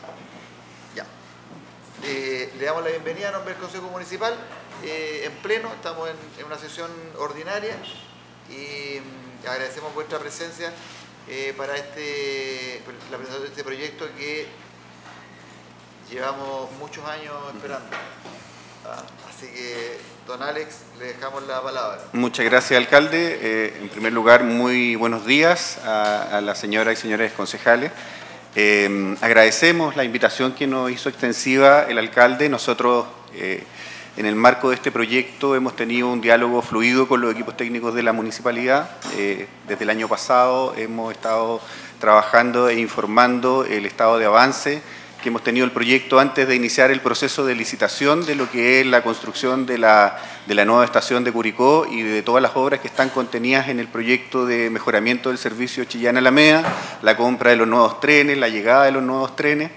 eh, y ahora estamos próximos a comenzar lo que es el proceso de construcción de lo que es la nueva estación. Eh, y por lo tanto nos parecía también, y agradecemos al alcalde por la invitación, muy importante que las autoridades, en este caso las concejalas y concejales, el señor alcalde eh, y eh, la comunidad en general, tuvieran los antecedentes en qué consiste el trabajo que vamos a desarrollar. Eh, un sello importante que ha transmitido el presidente del directorio de EFE es tratar de hablar con resultados concretos más que con anuncios. Entonces, si es que en alguna oportunidad no hemos sido muy fértiles en temas de hacer anuncios, es fundamentalmente porque el mandato que hemos recibido es trabajar para concretar las iniciativas, porque estamos hablando de que en el caso acá de la, de la estación de Curicó, que resultó siniestrada después del terremoto del 2010, han pasado prácticamente casi 14 años. Eh, y, por lo tanto, lo que nosotros necesitamos ahora es mostrar resultados concretos eh, a las autoridades y a la comunidad de Curicó respecto de este proyecto en particular. Eh, ha sido un trabajo bien intenso, como les comentaba al inicio, desde el año pasado ya eh, en el mes de marzo comenzaron a llegar los trenes que van a circular eh, en el servicio Chillán-Alameda. Eh, hicimos el proceso de licitación a mediados de año y ese proceso fue ratificado a fines de este año por el directorio y por lo tanto considera el mejoramiento y la recuperación de las 10 de, de 10 estaciones entre Alameda y Chillán. Y una de ellas, que es una de las obras más significativas, tiene que ver con la construcción de la, de la nueva estación de Curicó, que, que resultó siniestrada el año 2010, además del mejoramiento del resto de las estaciones, con habilitación de eh, servicio higiénico, accesibilidad universal, sistemas de comunicación eh, eh, y megafonía, alzamiento de andenes. Eh, los trenes que se van a habilitar para el servicio, eh, los cuales ustedes eh, van a poder conocer a partir de la próxima semana, que van a comenzar un servicio regular a contar del 19 de enero, son trenes que cuentan con todas las normativas y exigencias vinculadas a accesibilidad universal y por lo tanto van a permitir que las personas que tienen movilidad reducida puedan circular en condición fluida y no tengan dificultades. ¿ya? Eh, y, la- y las obras que se van a ejecutar en el caso de la estación también van a cumplir con esos estándares eh, y, no quiero en el fondo alargarme mucho más. Eh, en esta oportunidad me acompaña Leonel Ávila, que están a cargo del proyecto, y Francisca Manrique, que han estado a cargo del desarrollo del proyecto y, y quisiéramos hacer una breve presentación de lo que ha sido el proyecto Chillán Alameda y específicamente lo que corresponde a la reconstrucción de lo que es la estación de Curicó. ¿Ya? No sé si le parece, señor alcalde. Leo. Me presento, mi nombre es Leonel Ávila y estoy a cargo de la coordinación, planificación y control del, del proyecto. Bien, vamos a... La presentación que le vamos a mostrar va a estar dividida principalmente en cuatro partes. La primera vamos a dar como una eh, explicación global del proyecto completo. Vamos a hacer un poquito de énfasis en, la- en las tres partes en las que el proyecto se divide. Eh, y finalmente vamos a entrar en detalle de lo que corresponde al proyecto acá en Curicó específicamente. Bien, el proyecto de Tren Chillán, como pueden ver allí, eh, es un proyecto que va a atender una población estimada de 2 millones de personas. Abarca eh, cuatro regiones. Tres, eh, implica tener nuevos trenes, seis trenes nuevos. Vamos a atender aproximadamente 800 mil pasajeros por año. Vamos a cubrir un área eh, de casi 400 kilómetros entre eh, Chillán y Santiago. Y el servicio está compuesto por dos estaciones ferroviarias. Vamos a tener dos servicios. Un servicio expreso eh, que va a poder comunicar los dos extremos en 3 horas 40 minutos y un servicio regular de 4 horas. Y las estaciones que abarca cada uno de los servicios los pueden ver en la gráfica que está a la derecha, donde en rojo tenemos marcadas las estaciones que corresponden al servicio expreso, que son Alameda, San Bernardo, Rancagua, Talca y Chillán, y el servicio regular que sí contempla detenciones en las 12 estaciones. Importante mencionar acá que los tiempos de viaje que estamos proyectando allí es el tiempo, digamos, al que vamos a apuntar cuando todo esté ya puesto a punto. ¿ok? O sea, en las primeras de cambio eh, todavía hay algunas cositas que ir mejorando en, el intermedio, así que esos tiempos son a los que apuntamos a alcanzar dentro de unos dos años cuando ya eh, la red esté completamente consolidada. Como les decía, la presentación está dividida en, tres partes. La primera vamos a hablar del proyecto de rehabilitación de estaciones. Y estos tres proyectos no tienen sentido si no vemos el global, que es crear una experiencia de viaje al usuario, al pasajero, eh, para nuestros clientes actuales y obviamente a futuro, porque eh, tenemos proyectado ahí captar eh, mayor, mayores usuarios a futuro. En la rehabilitación de estaciones, así en términos gruesos, el, el alcance eh, abarca infraestructura, superestructura y sistemas de comunicación, pero solo a nivel de estaciones ferroviarias. Tenemos la adquisición de los nuevos trenes, eh, que son seis trenes eh, bimodales, y tenemos un nuevo centro de mantenimiento en la localidad de Chillán, eh, que es una estructura muy importante para, para nosotros y específicamente para este servicio hacia el sur. Bien, la primera parte de esas tres, como les mencionaba, es la rehabilitación de las estaciones. Acá en a la derecha podemos ver una fotografía referencial de la estación eh, Curicó. Y en términos generales, el alcance eh, de esta etapa del proyecto, que es la rehabilitación de estaciones, tiene que ver con las mejoras de los accesos peatonales, eh, de los sistemas de apoyo al pasajero, eh, pantallas para, información, mejorar las condiciones de seguridad. Vemos allí que tenemos cámaras de seguridad, tener un recinto eh, diseñado específicamente para las funciones del, sistema ferroviario. Tenemos como valor importante en este proyecto de rehabilitación de las estaciones el rescate y la conservación de las condiciones de arquitectura de cada una de las estaciones.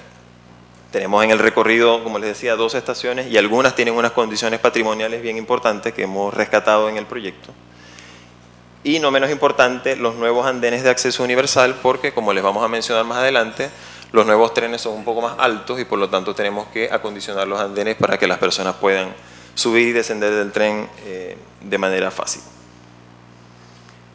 La- el otro bloque eh, importante, digamos el que tiene más visibilidad, es el de los nuevos trenes. Como ya mencionaba Alex, eh, el proyecto implica o contempla la adquisición de seis nuevos trenes que ya están en Chile y que están a punto de funcionar la semana que viene hasta, hasta la estación de Curicó. Tienen una, alcanzan una velocidad máxima de 160 kilómetros por hora Nos permiten el acceso a personas con movilidad reducida, tiene conexión a USB, enchufe, butacas reclinables, es decir, una serie de características que le dan bastante comodidad y seguridad a los usuarios. Importante para que veamos un poco la magnitud de este proyecto, eh, estos trenes se están comprando desde el año 2020, porque tienen todo un proceso de ingeniería, diseño, chequeos, pruebas, pruebas en fábrica, pruebas acá en, eh, una vez que se reciben en los talleres, puesto a punto. Entonces, estamos llegando o alcanzando su operación ahora en el mes de enero 2024, donde estaríamos empezando a operar con los primeros trenes. Y la otra parte grande del proyecto eh, tiene que ver con un nuevo centro de mantenimiento en la localidad de Chillán. Allí pueden ver algunas fotografías referenciales. Este centro de mantenimiento, más que un área de, digamos, de mantenimiento para los trenes y del material rodante, eh, implica muchas más cosas que quizás a veces escapan de la vista, como puede ser una fuente o está proyectado como una fuente de generación de empleo, eh, empleos de calidad, empleos especializados en la zona de Chillán, esta eh, estructura también va a dar mayor facilidad de implementar servicios de pasajeros a futuro, porque al tener allí un centro de mantenimiento para trenes en Chillán nos permite a futuro tener más, desarrollar nuevos servicios. Vamos a mejorar los tiempos de respuesta al tener talleres allí también ubicados y más cerca en la zona. Y también van a, aportar, a dar un aporte a la urbanización de, eh, del terreno de F en todos sus alrededores, nuevos accesos, nuevos servicios, etc. Entonces es como un aporte bastante importante en toda esta zona. Hablando así en forma resumida de cómo sería eh, la línea de tiempo del proyecto, como les mencionaba, en el 2020 se adjudicó el contrato de adquisición de los nuevos trenes. En ese mismo año iniciaron los trabajos o, los desarrollos de estudios de ingeniería de los sistemas de comunicaciones. No está escrito allí, pero también está en el año 2021 el inicio de esta ingeniería de estas mejoras que estamos haciendo en las estaciones de servicios. También iniciaron en ese mismo año. Y digamos que desde eh, todo el año 2021 y 2022 eh, incluso hasta el 2023 fueron años de consolidar todo lo que son los diseños del proyecto, eh, las aprobaciones de los fondos para poderlos ejecutar. Y en el año pasado alcanzamos hitos importantes como la llegada de los trenes a Chile, que fue en el mes de marzo, se recibieron las primeras unidades de los trenes. Y en el año 2023 también, eh, como hito importante, hicimos las licitaciones de estas obras que les mencionaba, tanto de la rehabilitación de estaciones como del nuevo centro de mantenimiento. Eso nos ha llevado hasta el día de hoy, como ven allí la línea roja principios del 2024, donde estamos iniciando las operaciones de los nuevos trenes y estamos también en paralelo iniciando las obras de infraestructura que les mencionaba anteriormente. Importante allí destacar el inicio de las obras de rehabilitación de estaciones. Este contrato de rehabilitación de estaciones fue adjudicado a la empresa Arrigoni, Ingeniería y Construcción, como lo pueden ver arriba en el título, y esta imagen nos eh, resalta allí como al medio eh, los plazos generales para el desarrollo de las mejoras o de la construcción de la nueva estación acá en Curicó. En el mes de marzo proyectamos iniciar, ven allí que hay una línea celeste y una línea abajo que es como rosada. La celeste nos muestra el edificio estación, el edificio como tal, donde estarían este, ubicadas todas las facilidades eh, que dan al servicio ferroviario. Y en la línea de abajo, que es la rosada, que va de marzo a agosto aproximadamente, estaríamos desarrollando la construcción de los andenes. Como les decía, estos andenes van a ser un poquito más elevados, como un metro más alto de los andenes que estaban antes, eh, o de los andenes que tenemos actualmente allí en la estación. El edificio estación estaría listo, eh, se proyecta que esté listo en el mes de diciembre, así que proyectamos que dentro del año 2024 podamos tener lista eh, la estación Curicó. Ahora vamos a entrar un poquito más en detalle a, lo que corresponde al, proyecto de, la estación Curicó.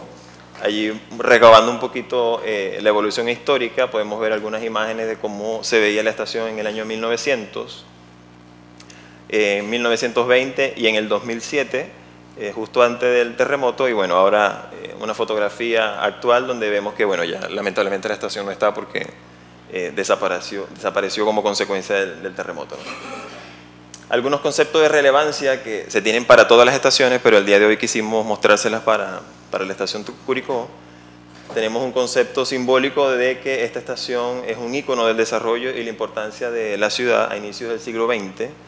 También valores históricos, bueno, hay algunos datos como que marcó el inicio del ramal Curicó-Licantén, eh, era reconocida como la estación de las tortas, Eh, cuenta con un caballo de agua, que incluso lo, van a ver más adelante en las fotografías, que se mantiene y se rescata en, eh, en el diseño del nuevo edificio estación.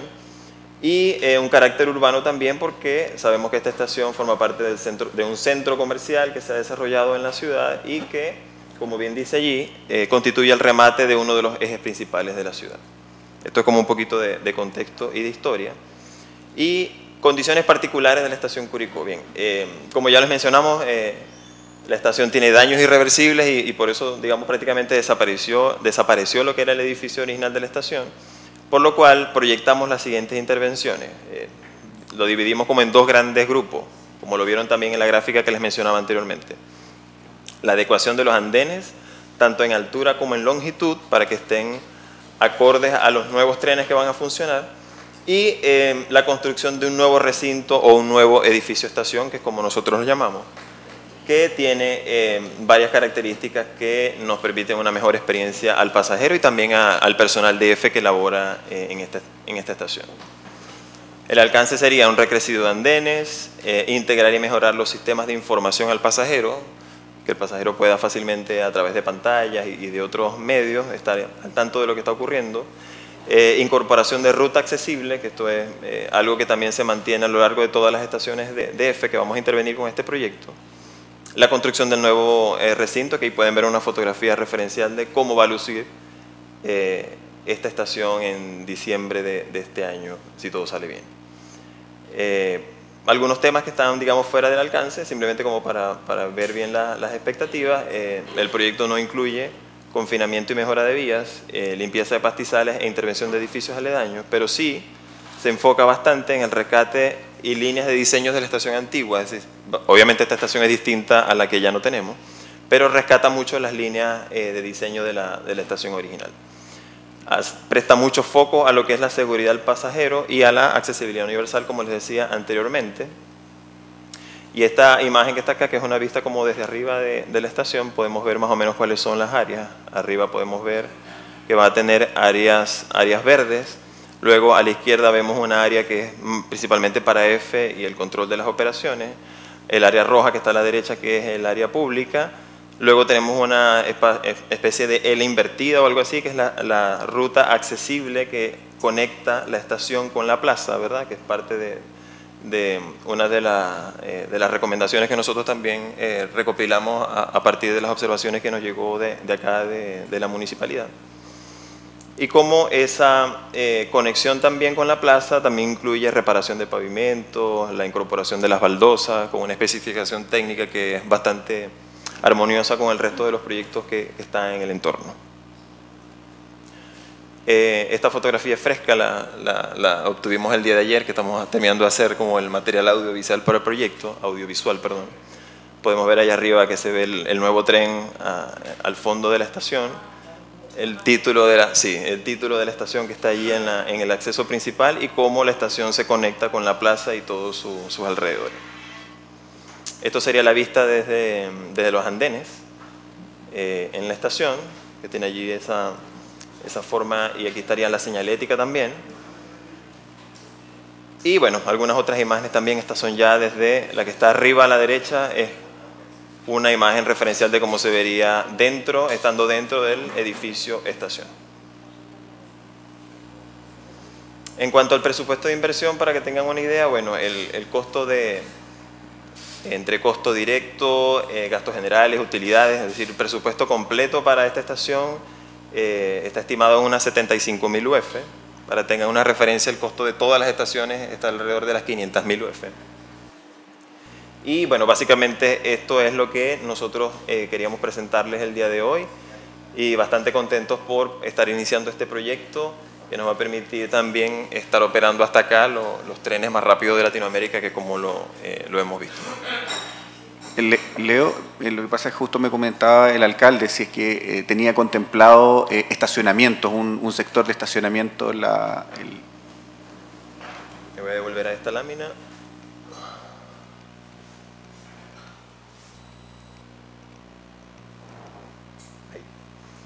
Sí. Frank, no sé si me ayudas tú ahí para explicar el tema de la estación. Eh, sí, tiene un par de estacionamientos en el costado de la estación. ¿Y, a- y al otro costado también están previstos esos? No, eso es el terminal de buses actual. ¿Y ese no es parte del No es parte del proyecto?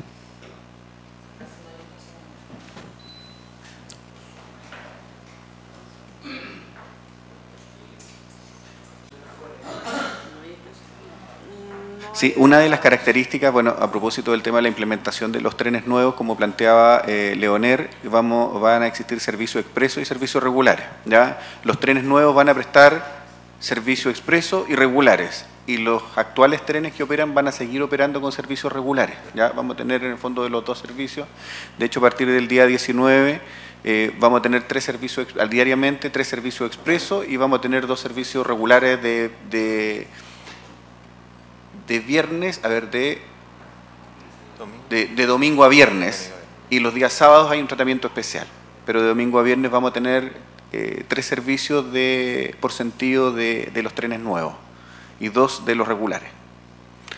Eh, una de, la- de las características de lo que planteaba Leo respecto del tema de los trenes nuevos es que se habla que son trenes bimodales. ¿ya?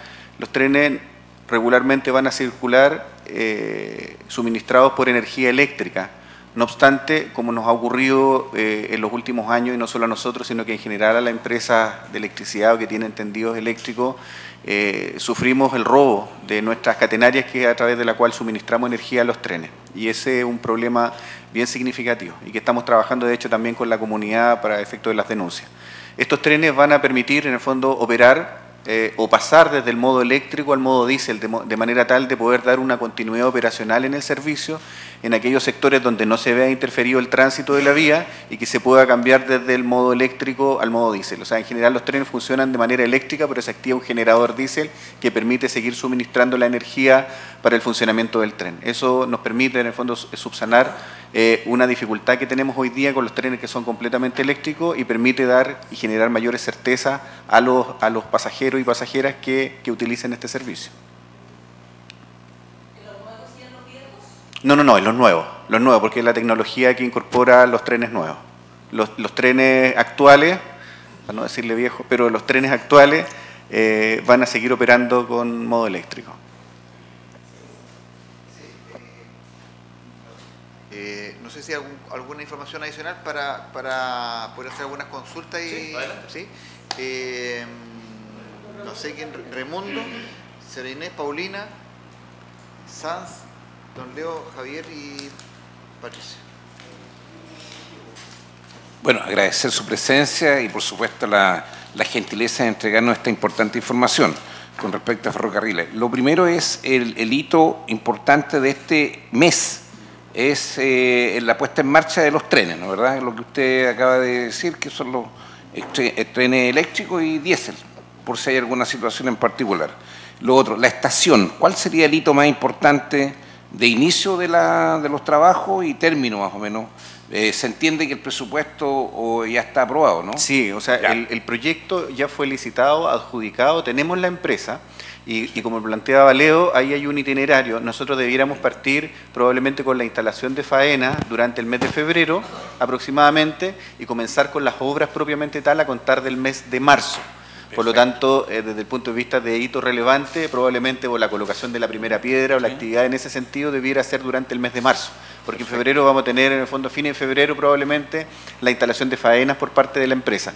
Pero eso ya está resuelto, o sea, el financiamiento ya está obtenido, está licitado, está adjudicado y la empresa está tomando, en el fondo, a partir de, me parece, la última semana de diciembre, tomó, en el fondo, eh, firmó el contrato y ya ¿Y el empezó a regir. más o menos? ¿Un, un año de Eh, obra? diciembre. Diciembre. Diciembre. Diciembre, eh, en- como decía Leo, si estamos en un escenario en que las cosas funcionan de manera fluida, que queremos que así sea, el inicio y el término del proyecto debiera eh, ser durante el año 2024. Muchas gracias, Solo para, alcalde. para sumar un dato más a lo que ya decía Alex, el contrato formalmente ya está en- ejecutándose, ¿ok? el contrato ya está en proceso de ejecución y está iniciando, como pueden ver allí, en las estaciones Molina, Talca, San Javier y Linares. Estamos empezando, digamos, los primeros trabajos en esas estaciones. Perfecto. Gracias, alcalde. Bien. eh, Gracias, señor alcalde. Agradecer realmente, me, me impresiona mucho. Yo fui hija de, de ferroviario, mi familia grandes partes de ferroviario, Entonces realmente cuando pasó toda esta situación, que vuelva, vamos a tener una estación a nivel, le decía mi colega aquí, a nivel europeo. A uno la, la enorgullece como ciudadana curicana y para nuestra gente que nos merecemos una estación maravillosa. Y también ya nuestras queridas señoras, las palomitas que venden sus tortas, no sé si quedará, no sé, vendrá otra generación, que no se pierda eso. Realmente me, me alegra, me conmueve mucho y también la estación de Chillán, a lo mejor voy a decir algo que va a, provocar un poco de risa, que se vuelva a tener los puestos de artesanía y el famoso café con malicia cuando llegaban y se pasaba por ahí. Así que felicitar, sabemos que también estas inundaciones provocaron los grandes daños en los puentes, que esos cimientos son fuertes, ¿no es cierto? Y eso no se puede parar en dos ni tres meses. Nuestra comunidad ha tenido que comprender eso. Yo soy una usuaria de ferrocarriles, pero bueno, sabemos que hay que tener paciencia para todas estas cosas. Felicitarlo y perdone que me haya dicho estas cosas, pero me llega muy, muy profundo. Muchas gracias. Gracias, señora Inés. Paulina. Gracias, buen día. Eh, primero que nada agradecer la explicación y, y el, el tema de recuperar, porque por lo menos a modo personal tengo bastante sentimiento encontrado y he tratado de hacer intervenciones porque esa zona eh, tiene muchos conflictos de delincuencia y de consumo de droga y alcohol. De hecho, la plaza que ustedes no van a intervenir, pero sí eh, van a mejorar las baldosas. Hay mucha gente en situación de calle, hace fogata en el invierno, los vecinos, los locatarios tienen ese conflicto. Entonces han habido algunas complicaciones bastante graves. Entonces ustedes ya que se vengan a posicionar le van a dar otro giro al entorno. Los vecinos y las vecinas van a poder estar tranquilas y también vamos a poder trabajar a la par porque cualquier situación se puede informar y vamos a mitigar este conflicto que hay hoy en día. Así que felicitarles por ese yo eh, estaba bastante preocupada, de repente hacía algunas intervenciones por el tema de la limpieza, porque va mucha gente a defecar y a orinar, entonces generaba ese olor y ahí ahora con us- ustedes le van a dar un toque de área verde en el, en el frontis, entonces eso se agradece. Y, sé, y vi que en el interior también, entonces me agradó mucho que le den como este otro toque eh, más verde. Y a raíz de eso voy a preguntar, ¿vienen ciclo, eh, perdón, eh, bicicleteros para las personas que quieran ir eh, a sacarse un pasaje en bicicleta? Y sí, Sí, de hecho ahí está. Eh, perdón, Eso, eso. Lo tenemos ahí. Y, ahí me- y y son como cerraditos. O porque se ve como una, una galería, ¿sí? O, No, no, no, son... ¿Están expu- expuestos a la vía pública? Son expuestos, sí. Ah, ya, pero igual van a estar dentro de, del, Del- recinto de la protección y, y van a tener protección con los circuitos de cámaras y todo. Ah, ya. Se agradece mucho, de verdad, que salga todo bien y poder recuperar este espacio que es tan conflictivo hoy en día. Gracias.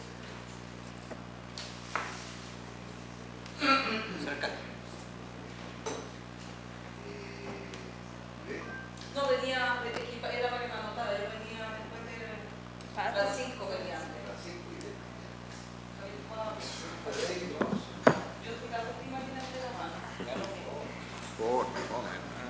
¿Cachipún? ¿Sí? Hola, ¿cómo están chicos? Gracias por la presentación. Eh, solamente nosotros estamos en el servicio regular. ¿Ya? Sí. No, en el servicio expreso no vamos a tener posibilidad porque paran en Talca, en Chillán, San Fernando y Rancagua, lo visto, y solamente nosotros paramos en el servicio regular. Entonces, no me quedó claro, si lo dijeron, yo pido disculpas, eh, ¿qué tipo de tren vamos a tener nosotros en el servicio regular? ¿Los nuevos o los viejos? Ambos. Entiendo que vamos a tener Sí, ambos. Hoy día, a, a propósito que tenemos solamente el servicio hasta Curicó, eh, cuando parte el día 19 vamos a tener un servicio expreso hasta Curicó que va a ser Santiago, Rancagua, Curicó.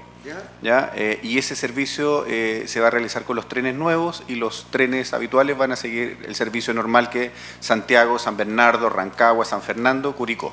Ya, Entonces la consulta es que con estos trenes antiguos, no los nuevos, que son de origen chino por lo que entiendo, sí. sean estupendo todo esto, muy bonito, ¿ya? ¿Vamos a cumplir el- el- el- el- el- la hora de las cuatro horas? Con los trenes nuevos cumplimos el objetivo. Eh, ¿Estamos hablando de Santiago Chillán? Santiago Chillán, que sea, el, el- el regular que pasa por Curicó hasta Chillán, que hay una promesa de cuatro horas. Correcto. ¿Con los trenes antiguos se va a cumplir? No, lo- creo que la. Eh, la- o sea, la, promesa es con los trenes nuevos, con los trenes nuevos, cuando esté en régimen todo el sistema operativo se proyecta que sean 3 horas y 40 minutos. ¿Ya? Ese- esa es la proyección. Es en el expreso. Eso es, es el, el servicio Estoy, estoy hablando en, en- en- en el regular, en el, en el, en Sí. el azulito. En la línea punteada azul, que es el tren o el servicio regular que incluye detención en Curicó, la proyección o la promesa de viaje es cuatro horas. Pero como les decía Alex, y lo comenté yo también por allí, esas cuatro horas no las vamos a tener en el 2024, quizás las estaremos alcanzando 2025. Solo, con los, tre- solo con los trenes nuevos. Solo, Solo con los trenes nuevos. Son los que consideran estas capacidades de velocidad, de adecuaciones, etc. Con los trenes viejos solo se va a llegar a, a, Curicó nomás. No, no, no. No. A ver, eh, lo que pasa es que estamos hablando de Curicó, pero el, el servicio, el servicio como tal, considera regulares y expresos. El regular efectivamente está proyectado que tenga, con el regular pero con los trenes nuevos, está proyectado que tenga un tiempo de duración de cuatro horas aproximadamente. Y eso considera la detención en cada una de las estaciones que se ven en azul. Y va a tener un servicio expreso que para, salvo San Bernardo, pero va a, parar en las capitales regionales, para, para en- solo en Rancagua, en Talca y en Chillán. ¿ya? Y ese, una vez que estén concluidas las obras en todas las estaciones, que se concluya eh, los procesos de mejoramiento de la infraestructura que hoy día están concluyendo, va a tener un tiempo de duración de 3 horas 40. Entonces los trenes nuevos en servicio regular van a tener una duración aproximada de 4 horas y en servicio expreso 3 horas 40. Los trenes actuales van a mantener la velocidad porque esos trenes pueden circular hasta 140 kilómetros por hora. ¿ya? Y los otros circulan hasta 160 kilómetros por hora. Y eso más o menos lo vamos a tener en 2025. Un curicano va a poder ocupar el regular con la promesa de cuatro horas, digamos, o sea, en Santiago, digamos, por el regular. De Santiago a Chillán. Santiago y Chillán. Exacto. Perfecto, gracias, me queda- ahora me queda más claro. Y lo otro, que agradezco enormemente, por lo tanto esto no es una crítica, es una consulta, agradezco enormemente que se rehaga la estación de trenes, está muy bonita, muy moderna, eh, sin duda alguna, eh, pero no, no- no hubo ningún rescate del edificio, arquitectónicamente hablando, del edificio antiguo que, que teníamos. ¿Hubo? Le pase a, a nuestra jefa oficina técnica que tiene más, más detalles. Ah, usted entra a la cancha ahora. Sí. Bien. Eh, se hizo todo un estudio eh, para el diseño de la estación de lo que era el ritmo de las ventanas y de las puertas de la estación an- antigua para el diseño de eh, las de los de las zonas vidriadas y opacas de la actual estación.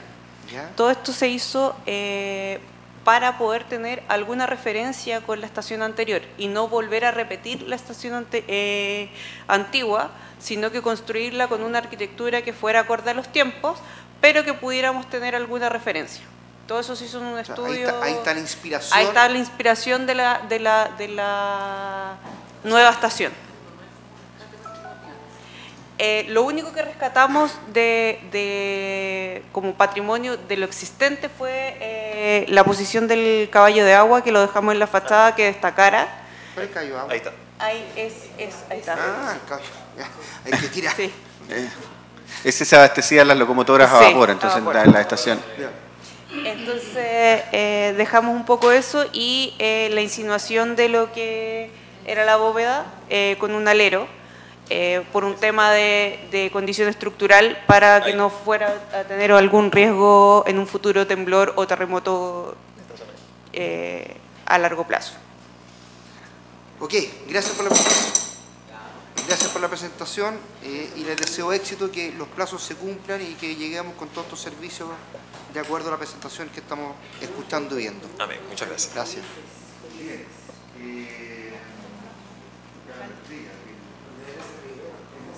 Don Leo, don Leo. Eh, alcalde, consejo, estimados amigos ejecutivos de ESPE, amigos periodistas, público presente, la verdad es que eh, es un momento de mucha satisfacción poder constatar que se actualizan políticas que nunca se debían dejado a un lado. Porque uno de los errores que se cometieron ayer, de los tantos, ¿no? fue para eh, favorecer a la empresa privada terminar con servicios fundamentales como era ferrocarriles. Eh, no hablamos nada de la salud, etcétera, que tenemos hoy una crisis tremenda. Eh, lo que hemos tenido la oportunidad de constatar, por ejemplo, lo que es el mundo desarrollado, los ferrocarriles son un medio de servicio especial, con el confort correspondiente para la comunidad, desde luego, en Europa, Estados Unidos, etc. Por lo tanto, nos alegramos inmensamente que se retome esta política de poner a- al servicio de la comunidad nacional eh, medios tan importantes como es la locomoción, entre otros, que se deben actualizar. Por lo tanto, agradecemos eh, la deferencia que ha tenido Ferrocarriles de llegar hasta el Consejo, que desde luego sirve para darlo a conocer a la comunidad curicana a través de nuestros amigos periodistas fundamentalmente. Y nuevamente, alegrarnos mucho de las nuevas políticas que se están impulsando en el país. Gracias. Muchas gracias. Bien, don Javier. Gracias, alcalde. Muy buenos días. Buenos días. Ahí sí. Buenos días nuevamente. Agradecer la presentación. Tenía algunas preguntas que el desarrollo de esto. Usar de un dedo.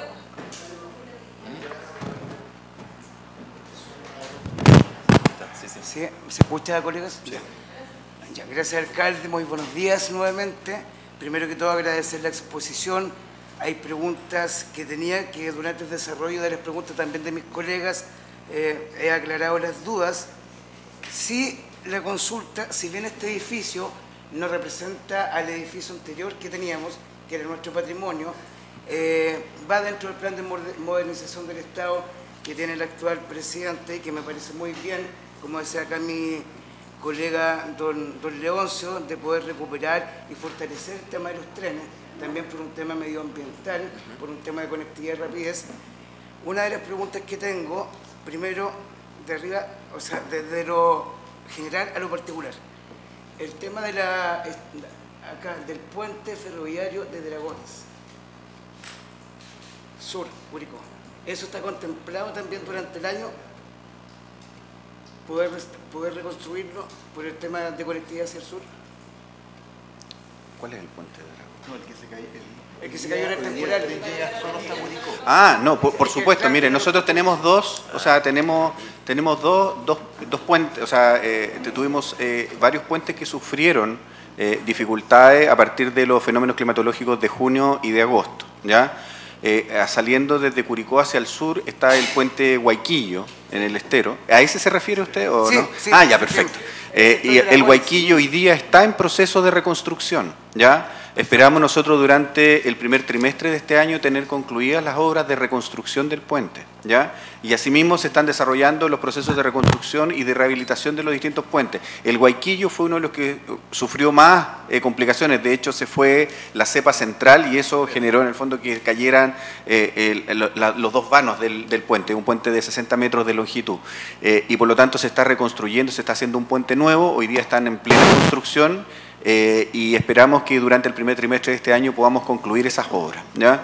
Eh, el, propósito es retomar, ojalá durante el primer cuatrimestre de este año, el servicio hacia Chillán, ¿ya? y para eso están trabajando los equipos en todos lo- los puentes. Tuvimos algunas dificultades ya más de Curicó hacia el sur antes de llegar a- a a Talca, tuvimos con el IRCAI, pero eso fue solamente un problema de socavación y eso se rehabilitó, se enrocó nuevamente eh, y después más hacia el sur en el puente Achibueno, que ocurrió también, se defendió bastante bien el puente y ese se recuperó también.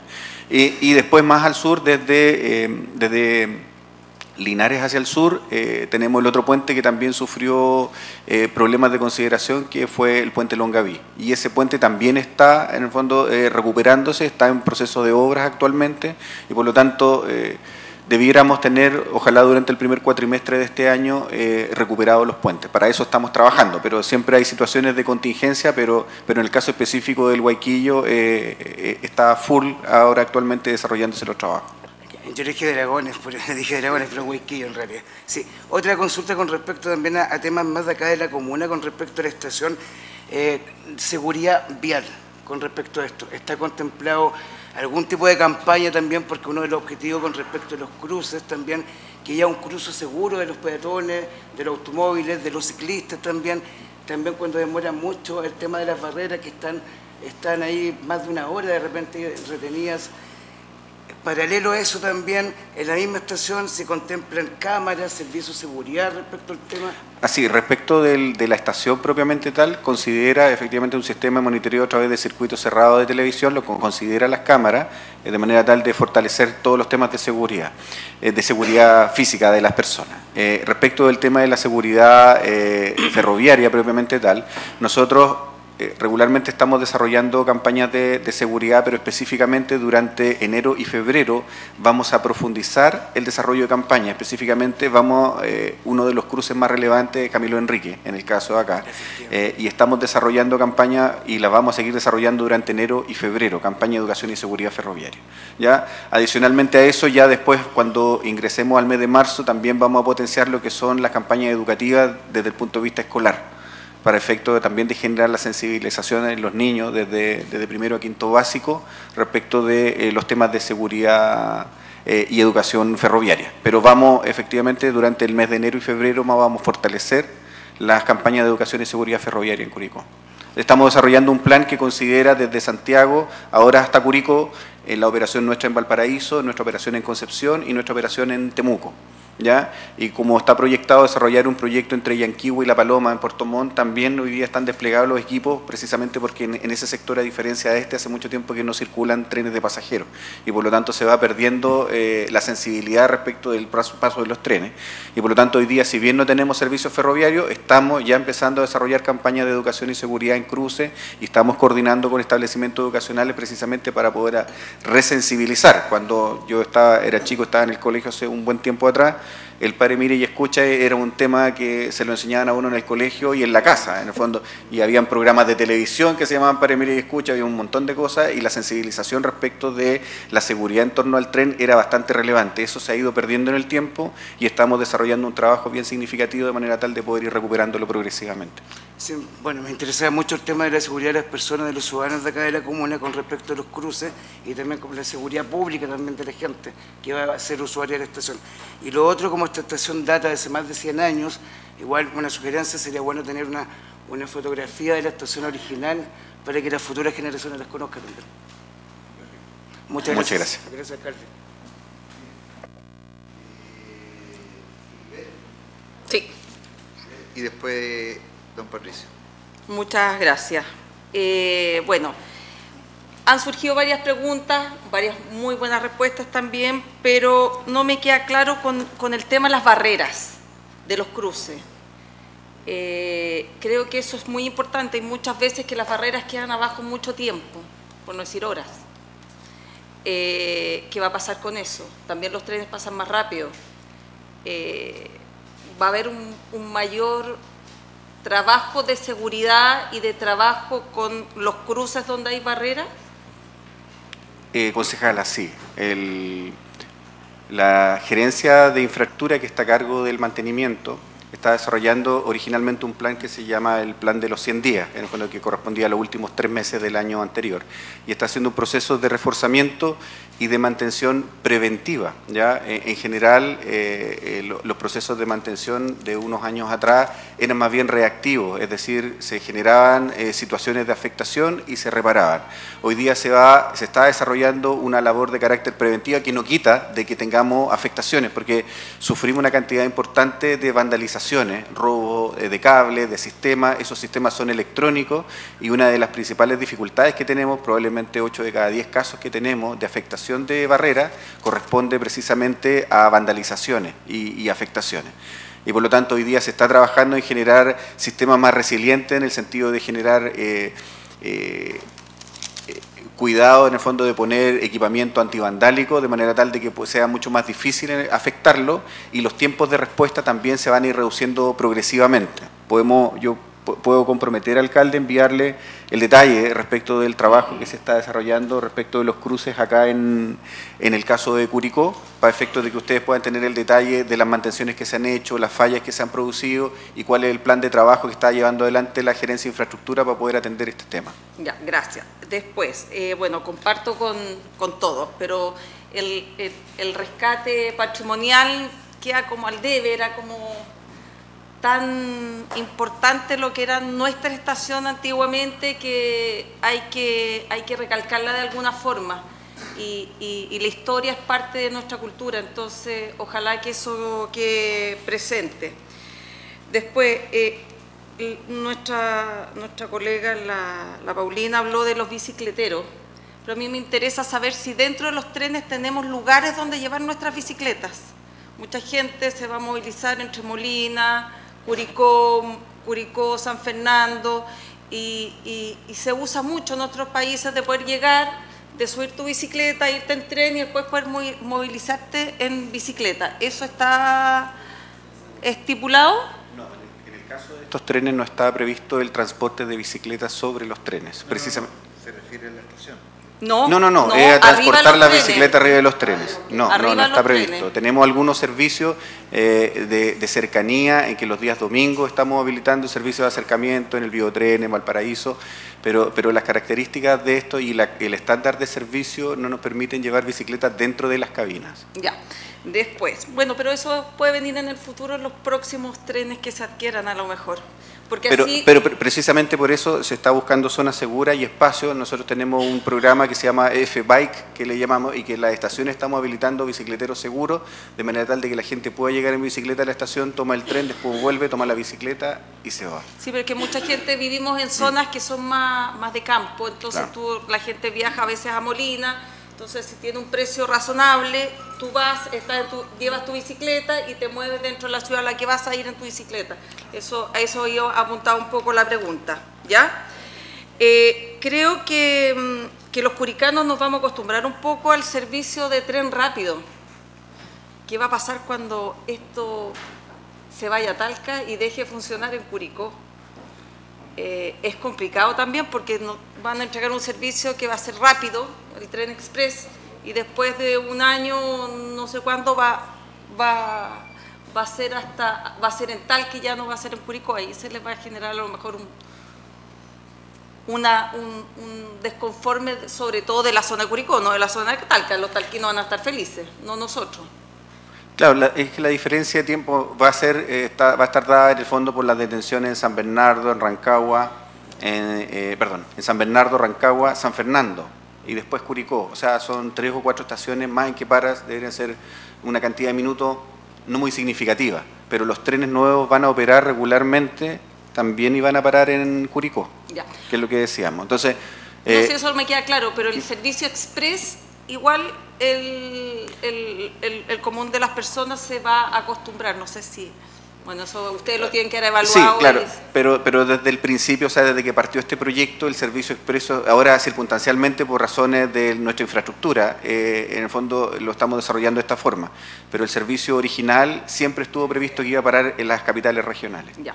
Respecto a lo que es eh, el acceso de los trenes a las zonas urbanas, va a haber un mayor eh, aislamiento a la población de ruido y de poder ingresar a las líneas férreas.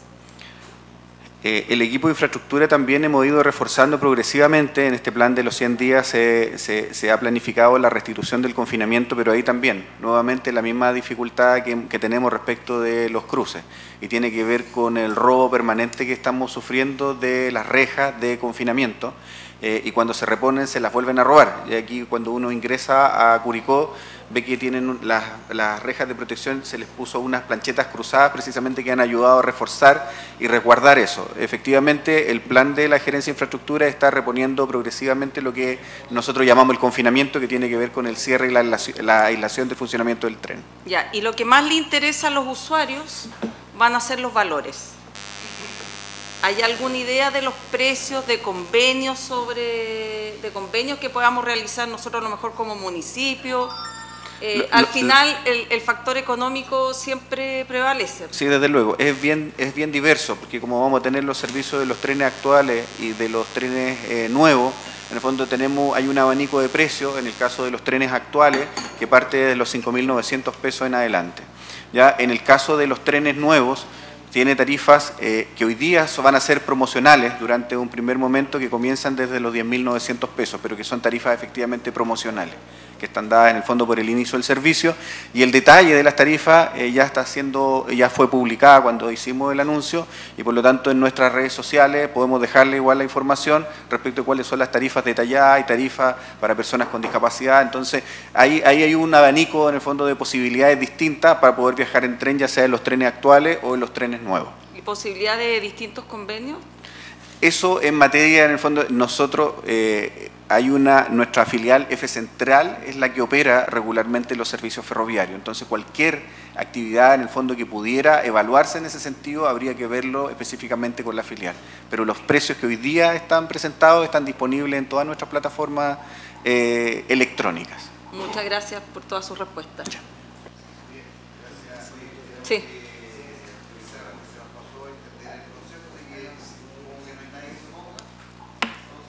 Todo aprobado. Nada que preguntar.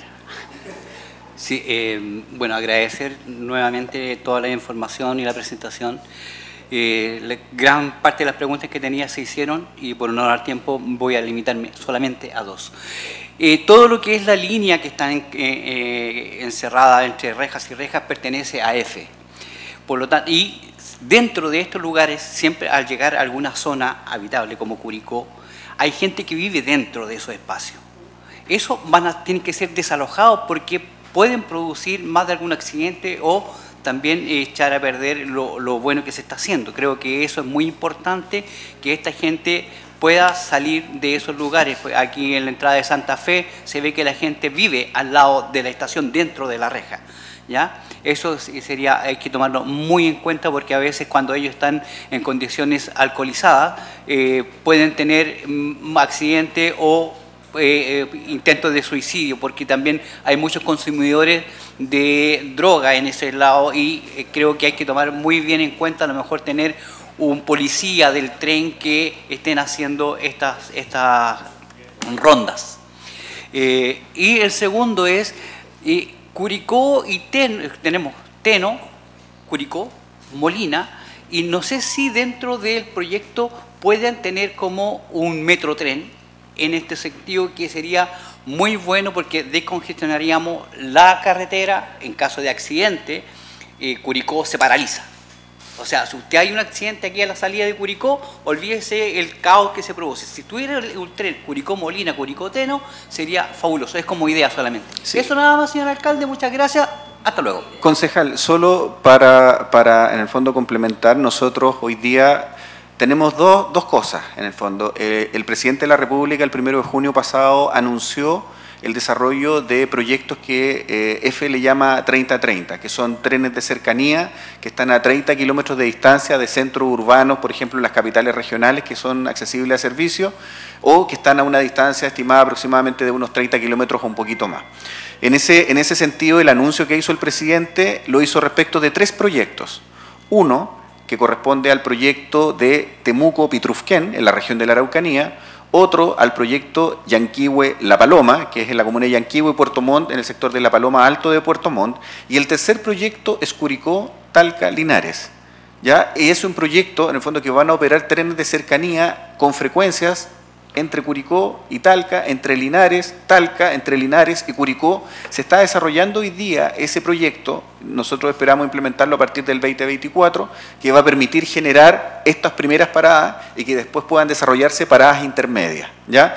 Entonces, ese proyecto está en estudio hoy día para implementarse, esperamos, durante este mismo año, de acuerdo a lo que se ha comprometido previamente. Entonces, de alguna forma, más allá del servicio largo que vamos a tener entre Chillán y Santiago, efectivamente estamos desarrollando trenes de cercanía y uno de ellos tiene que ver con Curicó, la localidad intermedia Talca y Linares. De hecho, el servicio que teníamos antes hacia el sur era Chillán-San Carlos y ahora llegamos hasta Parral. Entonces, la idea es generar circuitos intermedios precisamente para poder atender esa necesidad. Sabemos que hay mucha gente, sobre todo en el caso de Linares, que va a Talca, en el caso de Curicó, que eventualmente puede ir a Molina o a Talca. Entonces, ahí se generan eh, flujos de, pasajeros que, podemos en el fondo atender a través de estos servicios. Pero ese detalle podemos entregárselo al alcalde después con más tiempo, en la medida que vayamos avanzando con los estudios, estamos en enero, y tenemos por lo menos hasta diciembre para poder hacer la implementación de esto. Perfecto. Y lo último, perdón, disculpe. eh, sí, pero lo último, ahora sí, ahora sí. Espere harto rato. Eh, eh, está el cruce de Sarmiento, está el cruce un poco más acá, cerca de Rauquén, que normalmente habían guardas, guardas vallas, o aquí en- en- en Santa Fe. ¿Y qué pasa con eso? ¿Se van a poner personas que van a estar como antes con la linterna o con la bandera roja ahí anunciando o eso se tiene que llamar a licitación para poder tener personas de guardavías? Lo que ocurre es que no, sé si es que eh, en, aquellos sectores donde nosotros tenemos barreras automatizadas, la barrera automatizada en estricto rigor por estándar reemplaza lo que son las guardas cruzadas. Entonces aquellos lugares donde hay hoy día barreras automatizadas, automatizadas no se reemplazan por guarda cruzada. Ese, el estándar en el fondo no es la guarda, el guarda cruzada, sino que el estándar es la barrera automatizada.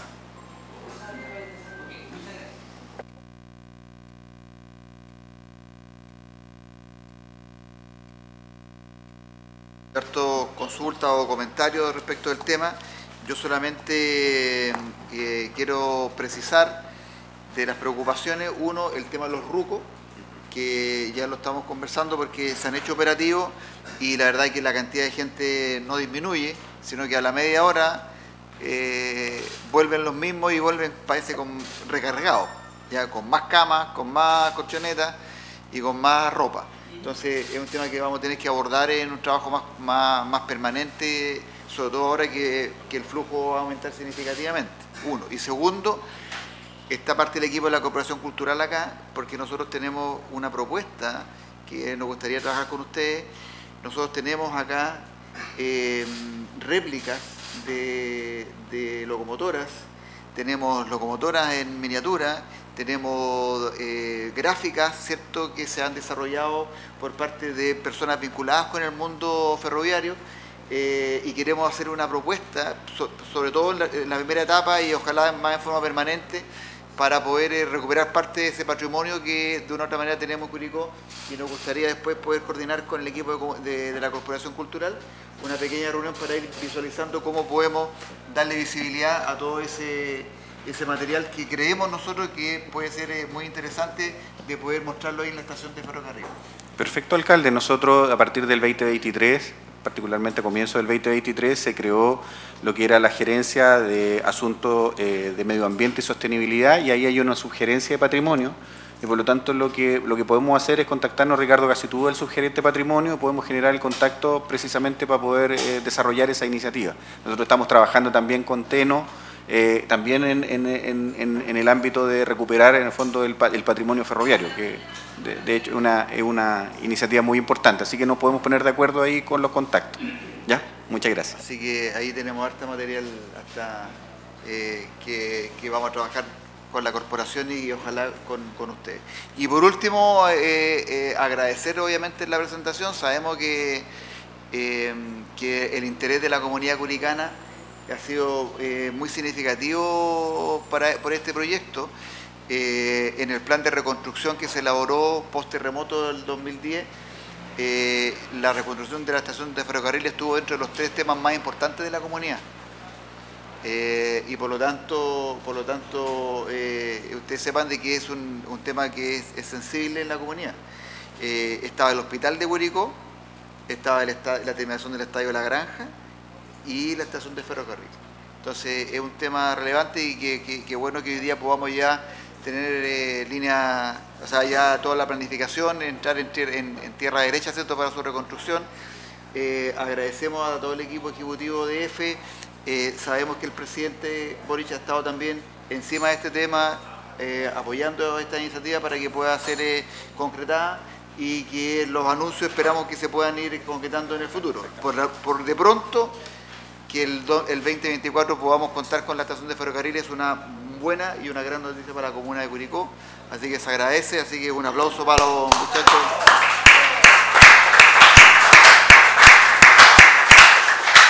Así que muchas gracias y estamos, estamos en contacto. Muchas gracias, alcalde, también a usted por el trabajo que hemos tenido con el equipo, la disposición que ha tenido usted, bueno, y, y agradecer al Consejo Municipal también por, por esta invitación. Sí, vamos a hacer un pequeño break y continuamos con la hora incidente.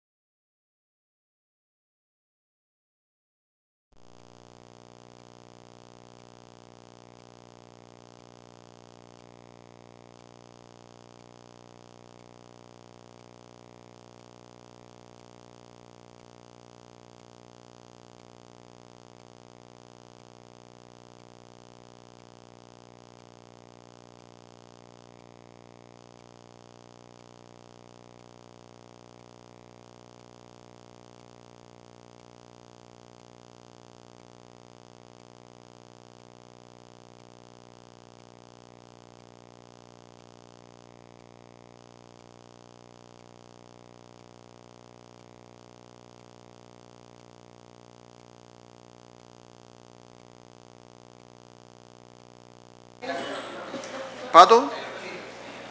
¿Quién más? Señora Inés. Javier.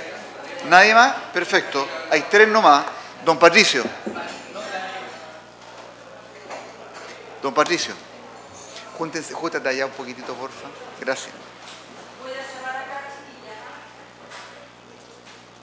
Gracias, señor alcalde. Eh, brevemente tengo dos puntos. Uno que es, eh, ya lo toqué, no sé si eh, me, me parece que los guardacruces que habían antes en algunas partes eran producto de un convenio municipal.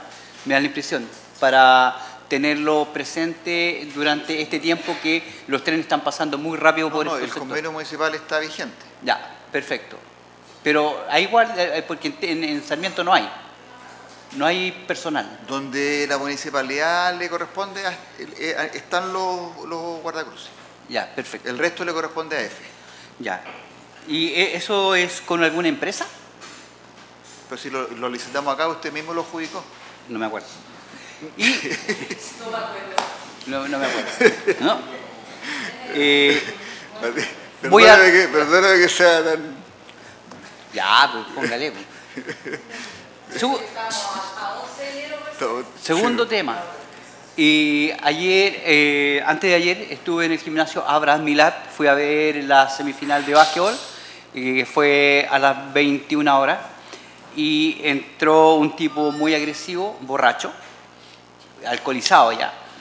Y a esa hora solamente hay una funcionaria que está trabajando, en el cual se revierte en un peligro constante que transita, por ese lado transita mu- mucho, hay prostitutas, llegan gente que, anda buscando acción y hay- llegan borrachos, drogados, todo eso, y a veces quieren entrar a hacer sus necesidades dentro del gimnasio y ella no es suficiente para eso. Entonces, vuelvo a solicitar que en el gimnasio Abraham Milán se ponga un guardia permanente eh, hasta que cierre el gimnasio.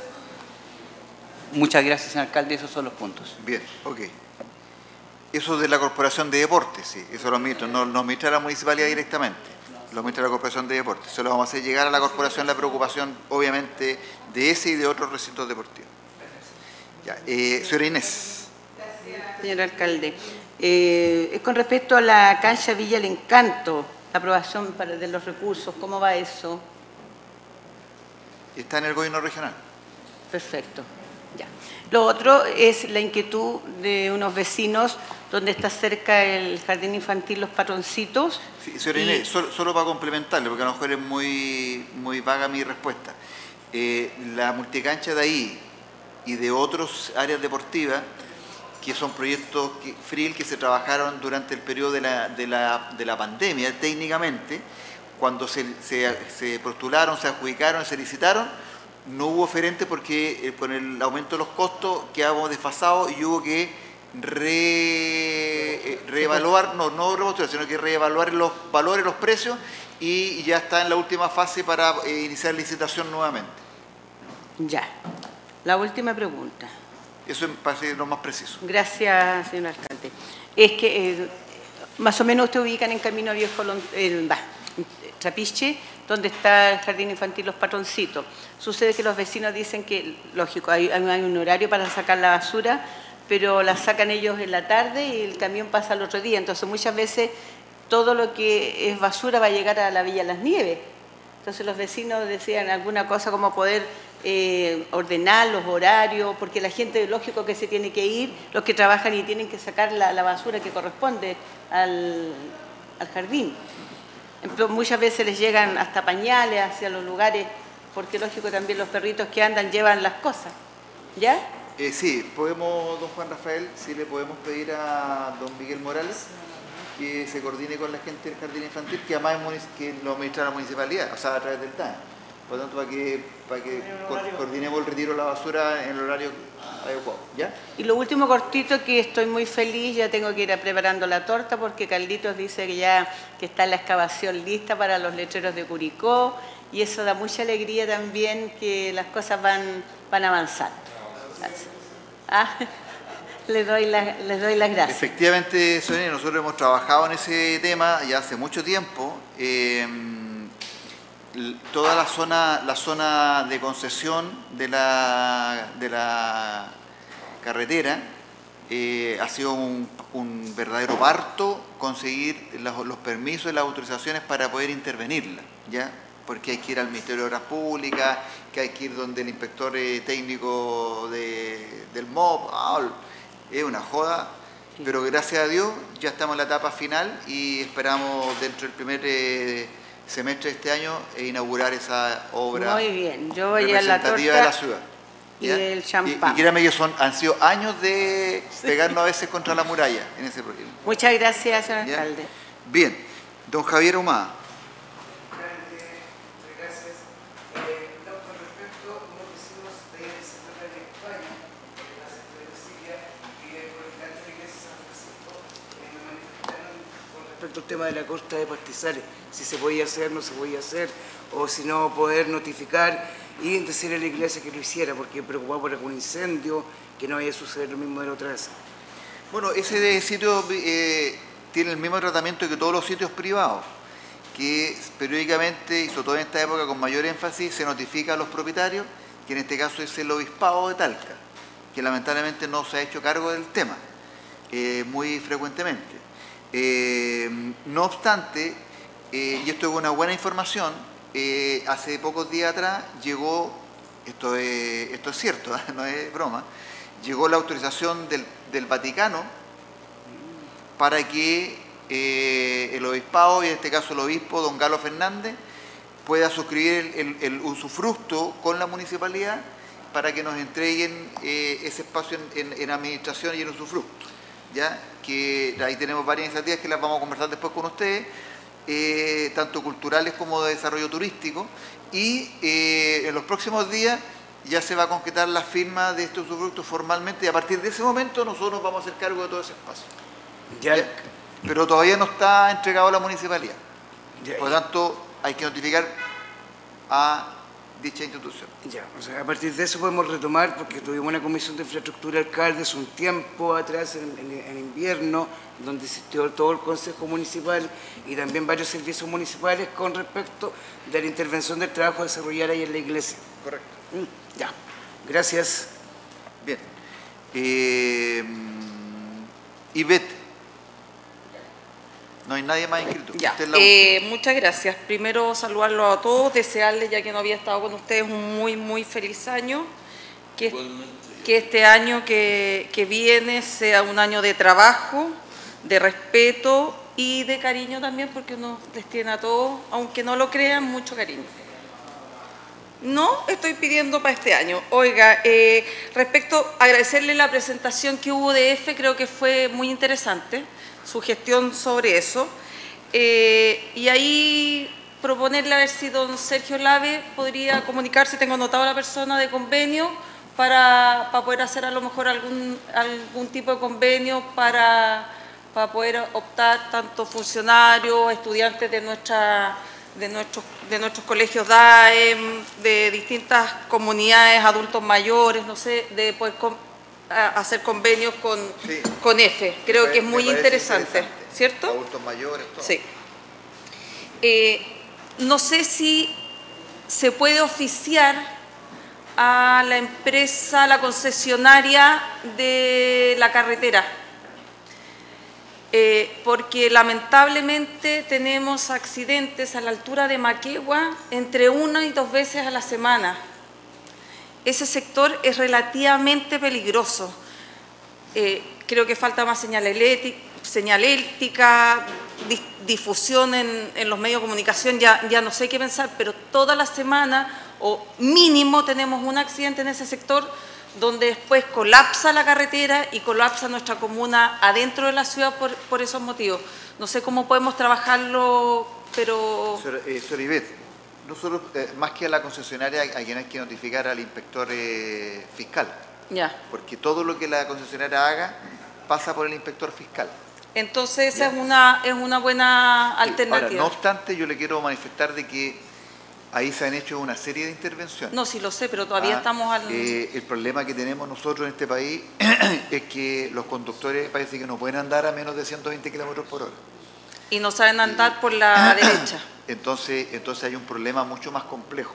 Pero sí lo vamos a hacer, eh, vamos a hacer ver, digamos, la preocupación del Consejo para que se, se revisen las medidas eh, ante la seguidilla de accidentes que han habido ahí. Además que no solo que colapsa la carretera, eh, eh, ese colapso influye después en el ingreso a, en, en- en las calles de, de Curicó urbano.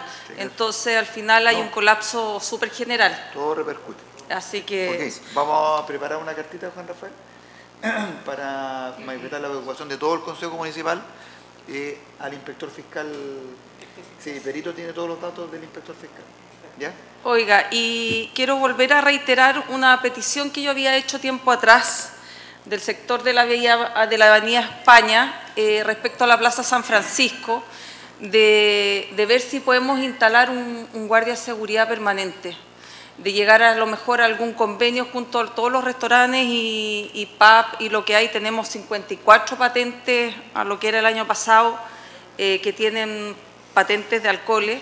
Entonces, también es una zona residencial y creo que es de relativa importancia entregar seguridad.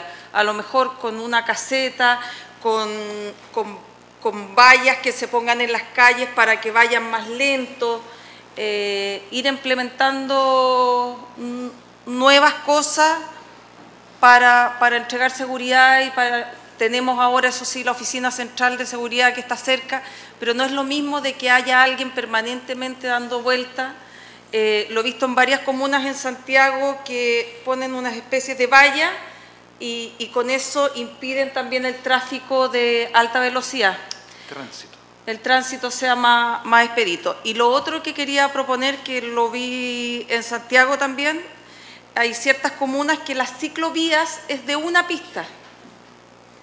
Entonces van en la misma dirección que van los automóviles.